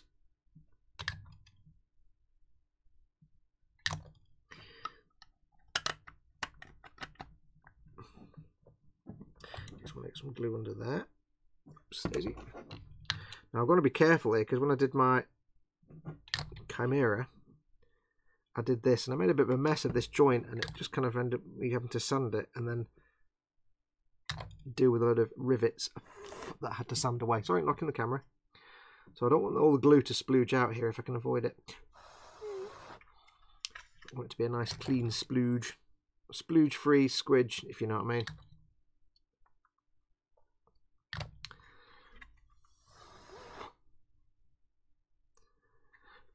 Okay, that's cool. That's come out all right. That's not so bad. A lot less messy than when I did the Chimera. it's the thing with me, if I do the first time I build a kit, I'll make a bit of a hash of it here and there. Second time I build a kit, it'll be a bit easier because I'll know what I'm doing a bit more. The third time I build the kit, yeah, I probably lose the will to live at that point because that's the third time I built the kit. Seriously, there's only so many times I can build a damn kit. So that is in. Jolly D. Jolly D. So there we go, that's nicely. So I've not made a big hash of the bits here with the rivets. There's a bit of splodge of glue come out, but that'll be that'll disappear once it's primed. You won't see that. It's just because it's a different shininess. So there we go. So you can see it's the same, exactly the same frame and chassis as the Chimera. It's just this bit and that bit are different. And that's how these work. There's a few variants of these, and they're all basically the same, with different stuff on the top.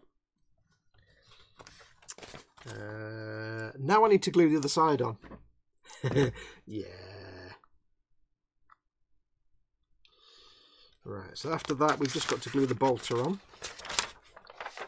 And some other bits and bobs. So what I'll do, I'll probably leave it there. And we'll crack on with this, we'll carry on with this next time.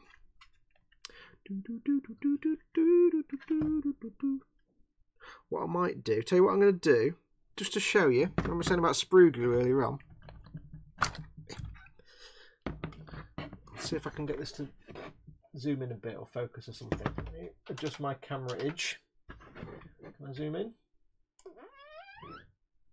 Okay, so you see here we've got this gap here, along here. I can't really do much about these two bits. Where's my pointy? Can't do much about these two bits because it's going to be a nightmare to sand down there without getting rid of these two hooks, these hooks that are underneath. But what I can do is fill this bit in so these bits don't look quite so bad. Because if I fill those two bits, if I fill this bit and leave these bits here, it just looks like maybe two pieces of metal that have been welded together. But if I fill this in, Looks like a single piece. So what we can do, this is where your sprue goo comes in.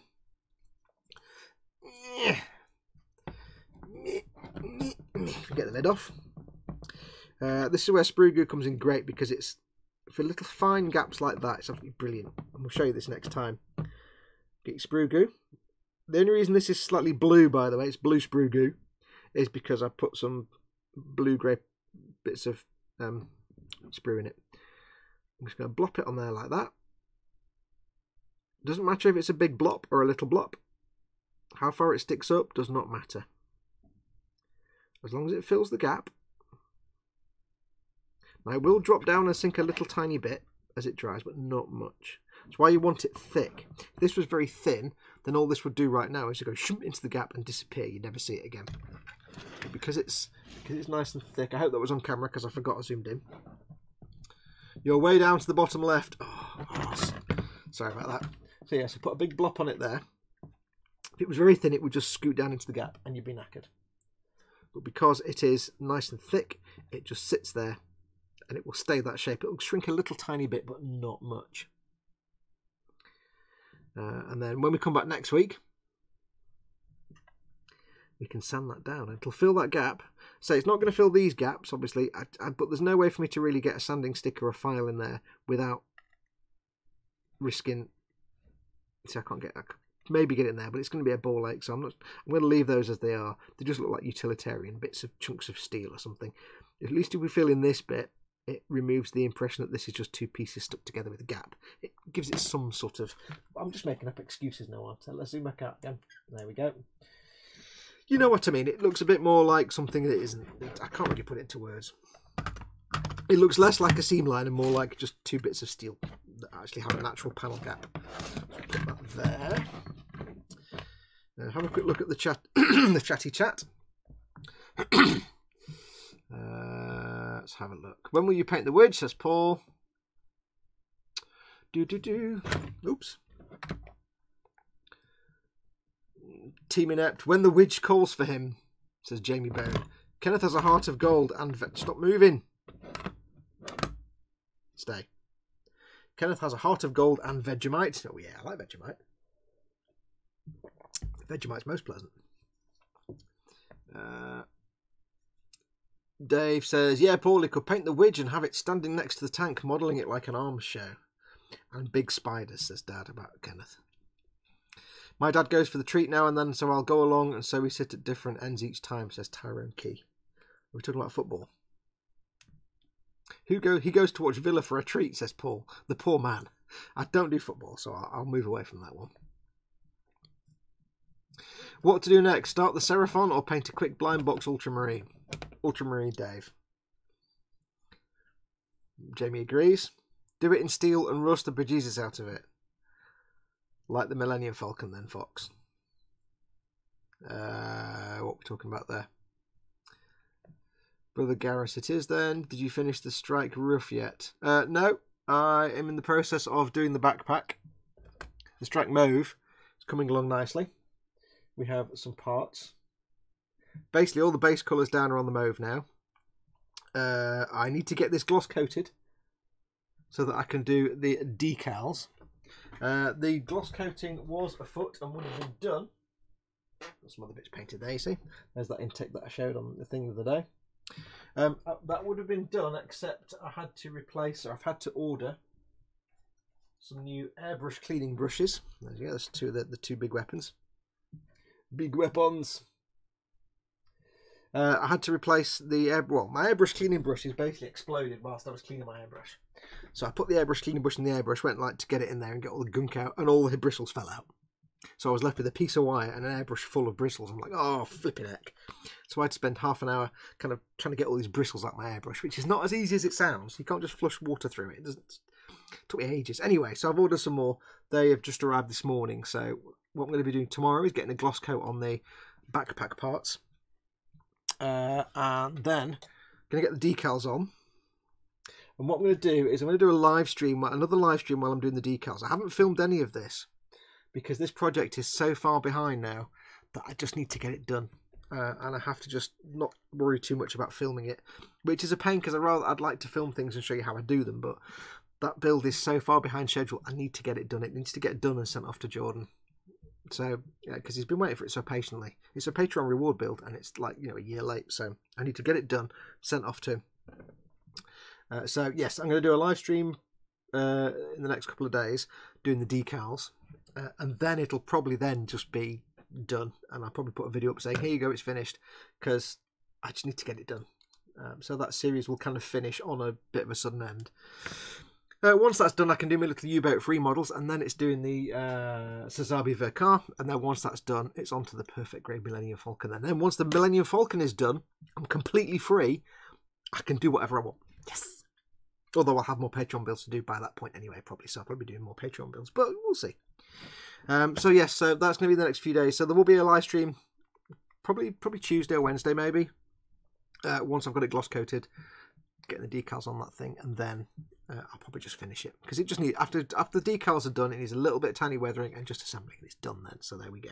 So Jordan, nearly finished. Nearly finished. Apologies, it's taking so long. So uh, yeah, we're going to call it there. Let's have a quick look at what chat is doing. Uh, what is chat doing? Mm-mm-mm. So Aviad Madar says, so got some good news and some bad news. Good news, I'm going to have way more free time. Bad news, I have to tell my team they're closing down the division of fan new job. Oh dear. Oh, sorry to hear that, dude.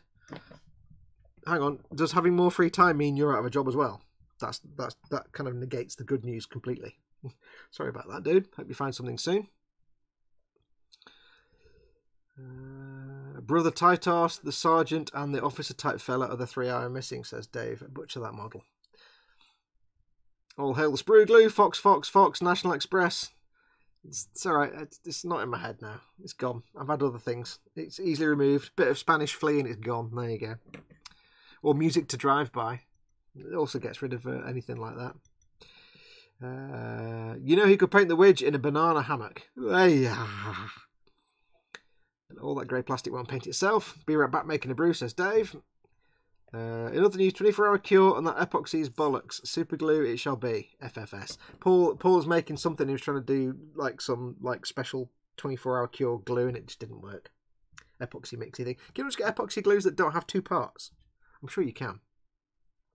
Fox, if I use C1 on a frame, is it okay to paint small details on top? Um, yep, absolutely. That's exactly what I did. I can't show you because it's in the box, but that's exactly what I did on the Strike Rouge. Um, if you're just painting in little bits on top, like bits of, you know, I did um, I did the gloss black for the frame parts, glued all the frame into, into shape, and this is what I'll do on the Sazabi as well. Gloss black on the frame, uh, C1 it, and then you can go in, you can paint, as long as you're using water-based acrylics, not lacquers, um, just paint it over some gold and some other silver bits. Just it, it doesn't really do any harm. It might take a couple of coats. The first coat might look, if it's a metallic colour, it might not look quite as shiny as you expect because it's going to soak into the powder. So if you need to just do a second coat, but yeah, it's absolutely fine. Uh, if you're just doing little bits of details here and there, don't don't expect to be doing any funky, complex masking and paintwork and stuff. Probably not going to happen. But if you've got little details like little pistons or bolts and screw heads and things or whatever you get on say Gundam frame to paint in, you can do it. So I've done that. It's it's fine. Um, Will the Perfect Grade Falcon be more than six episodes?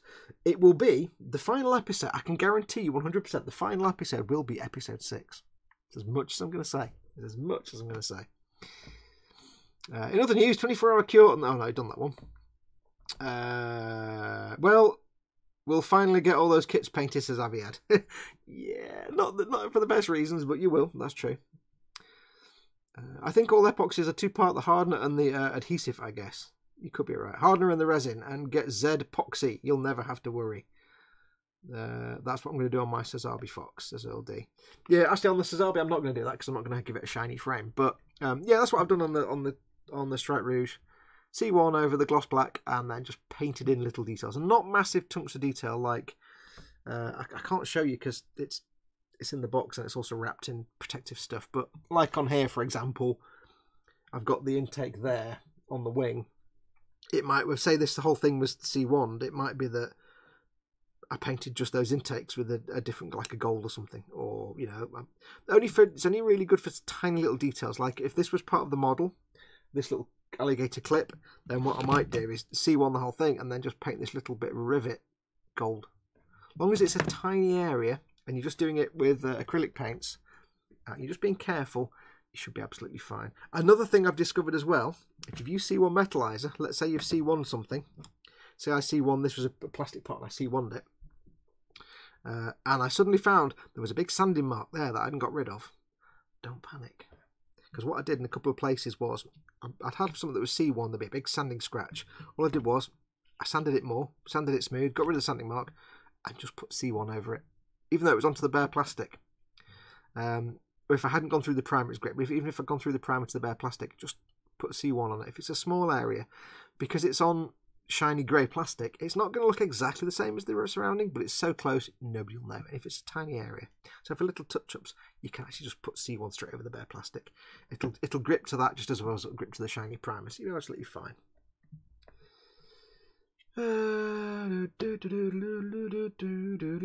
people talking about uh, Amazon Prime, I don't know why. Uh, right, so I think that's going to do us anyway. I shall leave that there. We'll leave that to cure. We'll carry on with this next week. I'm kind of running out of things to do on these streams now. At some point, I'm going to have nothing left to build. I'm going to have to paint figures or something. I'll warn you now, if we do get to the point where I'm painting figures, I'm probably not going to say much. I really will be sitting there going, and you'll just see the top of my head because it's not easy. Um, what am I going to say? Announcements. Uh, don't forget, tomorrow is Monday, and it's eModels Monday. The eModels team are back doing their live stream on the eModels YouTube channel, emodels.co.uk. Um, uh, we'll, Ted, Chris, and I will be doing that again tomorrow night. Uh, it's back to the eModel stream. Don't forget, of course, if you watch the eModel stream, it's gallery giveaway tomorrow. It's that time of the month when we do a gallery giveaway, I think. Um, so that'll be us 9 pm tomorrow night. So do tune in for that. Don't forget uh, on Chris's channel, Gross Models, he's in the chat. Click on uh, his follow his link to his name uh, to his channel. 8 p.m. tonight, he'll be doing his Warhamster stream. So do tune in and watch that. Uh, it's all good stuff. Um, what else? What else? Yes, I'll do a live stream throughout the week for the decals on the Strike Rouge. It's not because I'm going to be showing you you want to learn how to put decals on the Strike Rouge. I've shown you that. It's just so I can give you some content off the Strike Rouge. And if I'm going to be doing decals, I may as well hang out with you guys. Uh, and then once that's done, uh, the next uh, Warhammer Conquest video should be up in the next few days as well, because I've just got some finishing touches to put on that. And then we're done with that one. So I think that's going to do us. As usual, I need to go for a great big wee. So I'm going to make this wrap up a bit quicker. In fact, I said this 50 minutes ago. It's almost 6 o'clock now. So, uh, yes, anyway, so that's going to do us. So thank you very much to everyone who's watched. Remember, if you did win a sticker tonight, uh, just send me an e-model to fox at modelmakingguru.com with your name and your address and tell me which sticker you won even if you sent an email previously for another sticker and I've still got still waiting for that, I need to know how many stickers you need. So if you've got five emails in my inbox from you, and I've got to send you five stickers. Uh, and don't forget, of course, if you'd like to help support this channel, you're more than welcome to. I, su- I survive on your donations, so uh, patreon.com forward slash model making guru. This is my job. I do this for my income, so I absolutely depend on the support my followers give me. So uh, if you if you want to help out on Patreon, please do. If you're not able to, don't worry. You can help out by just simply subscribing to this channel, or if there's an advert when you start watching one of my videos, just watch the advert all the way through. It helps me out because I make a little bit of money. And last of all, don't forget, I do have an affiliate store on Amazon, so if you need to pick up any model making gear, it'll be in the description below this video, so look down there. Uh, under all my videos, there's a big long list. There's a link to the store, and there's a big long list of just stuff you might need for your model making adventure. So if you need to pick something up from Amazon, if you think, oh, I need some glue or I need some this or that, I'll go on Amazon and pick it up. Before you just go and find it and buy it, have a look in my little Amazon store. It might be a link to it in there. Uh, and if you do go through that link on my Amazon store, I make a little bit of tiny income off that. Doesn't cost you more, just means I get a little bit of commission off that. So do go and check out that link first before you go and buy anything on Amazon. But that's going to do us. So thank you very much for watching. Uh, do take care of yourselves. Uh, I shall see you tomorrow night for the eModels live stream and then throughout the week for the other live stream. But take care of yourselves. I've got to go and queue. I always forget to queue things up, don't I? Because I'm rubbish. Uh, I shall get that ready. Uh, do take care of yourselves. Go make something awesome. Go be awesome. Yes, you there. You there. Be awesome. And until next time, when we carry on with this thing down here, I shall bid you adieu. And I forgot what I was going to say. I don't know. I'm just going to press a button now. Adios, amoebas.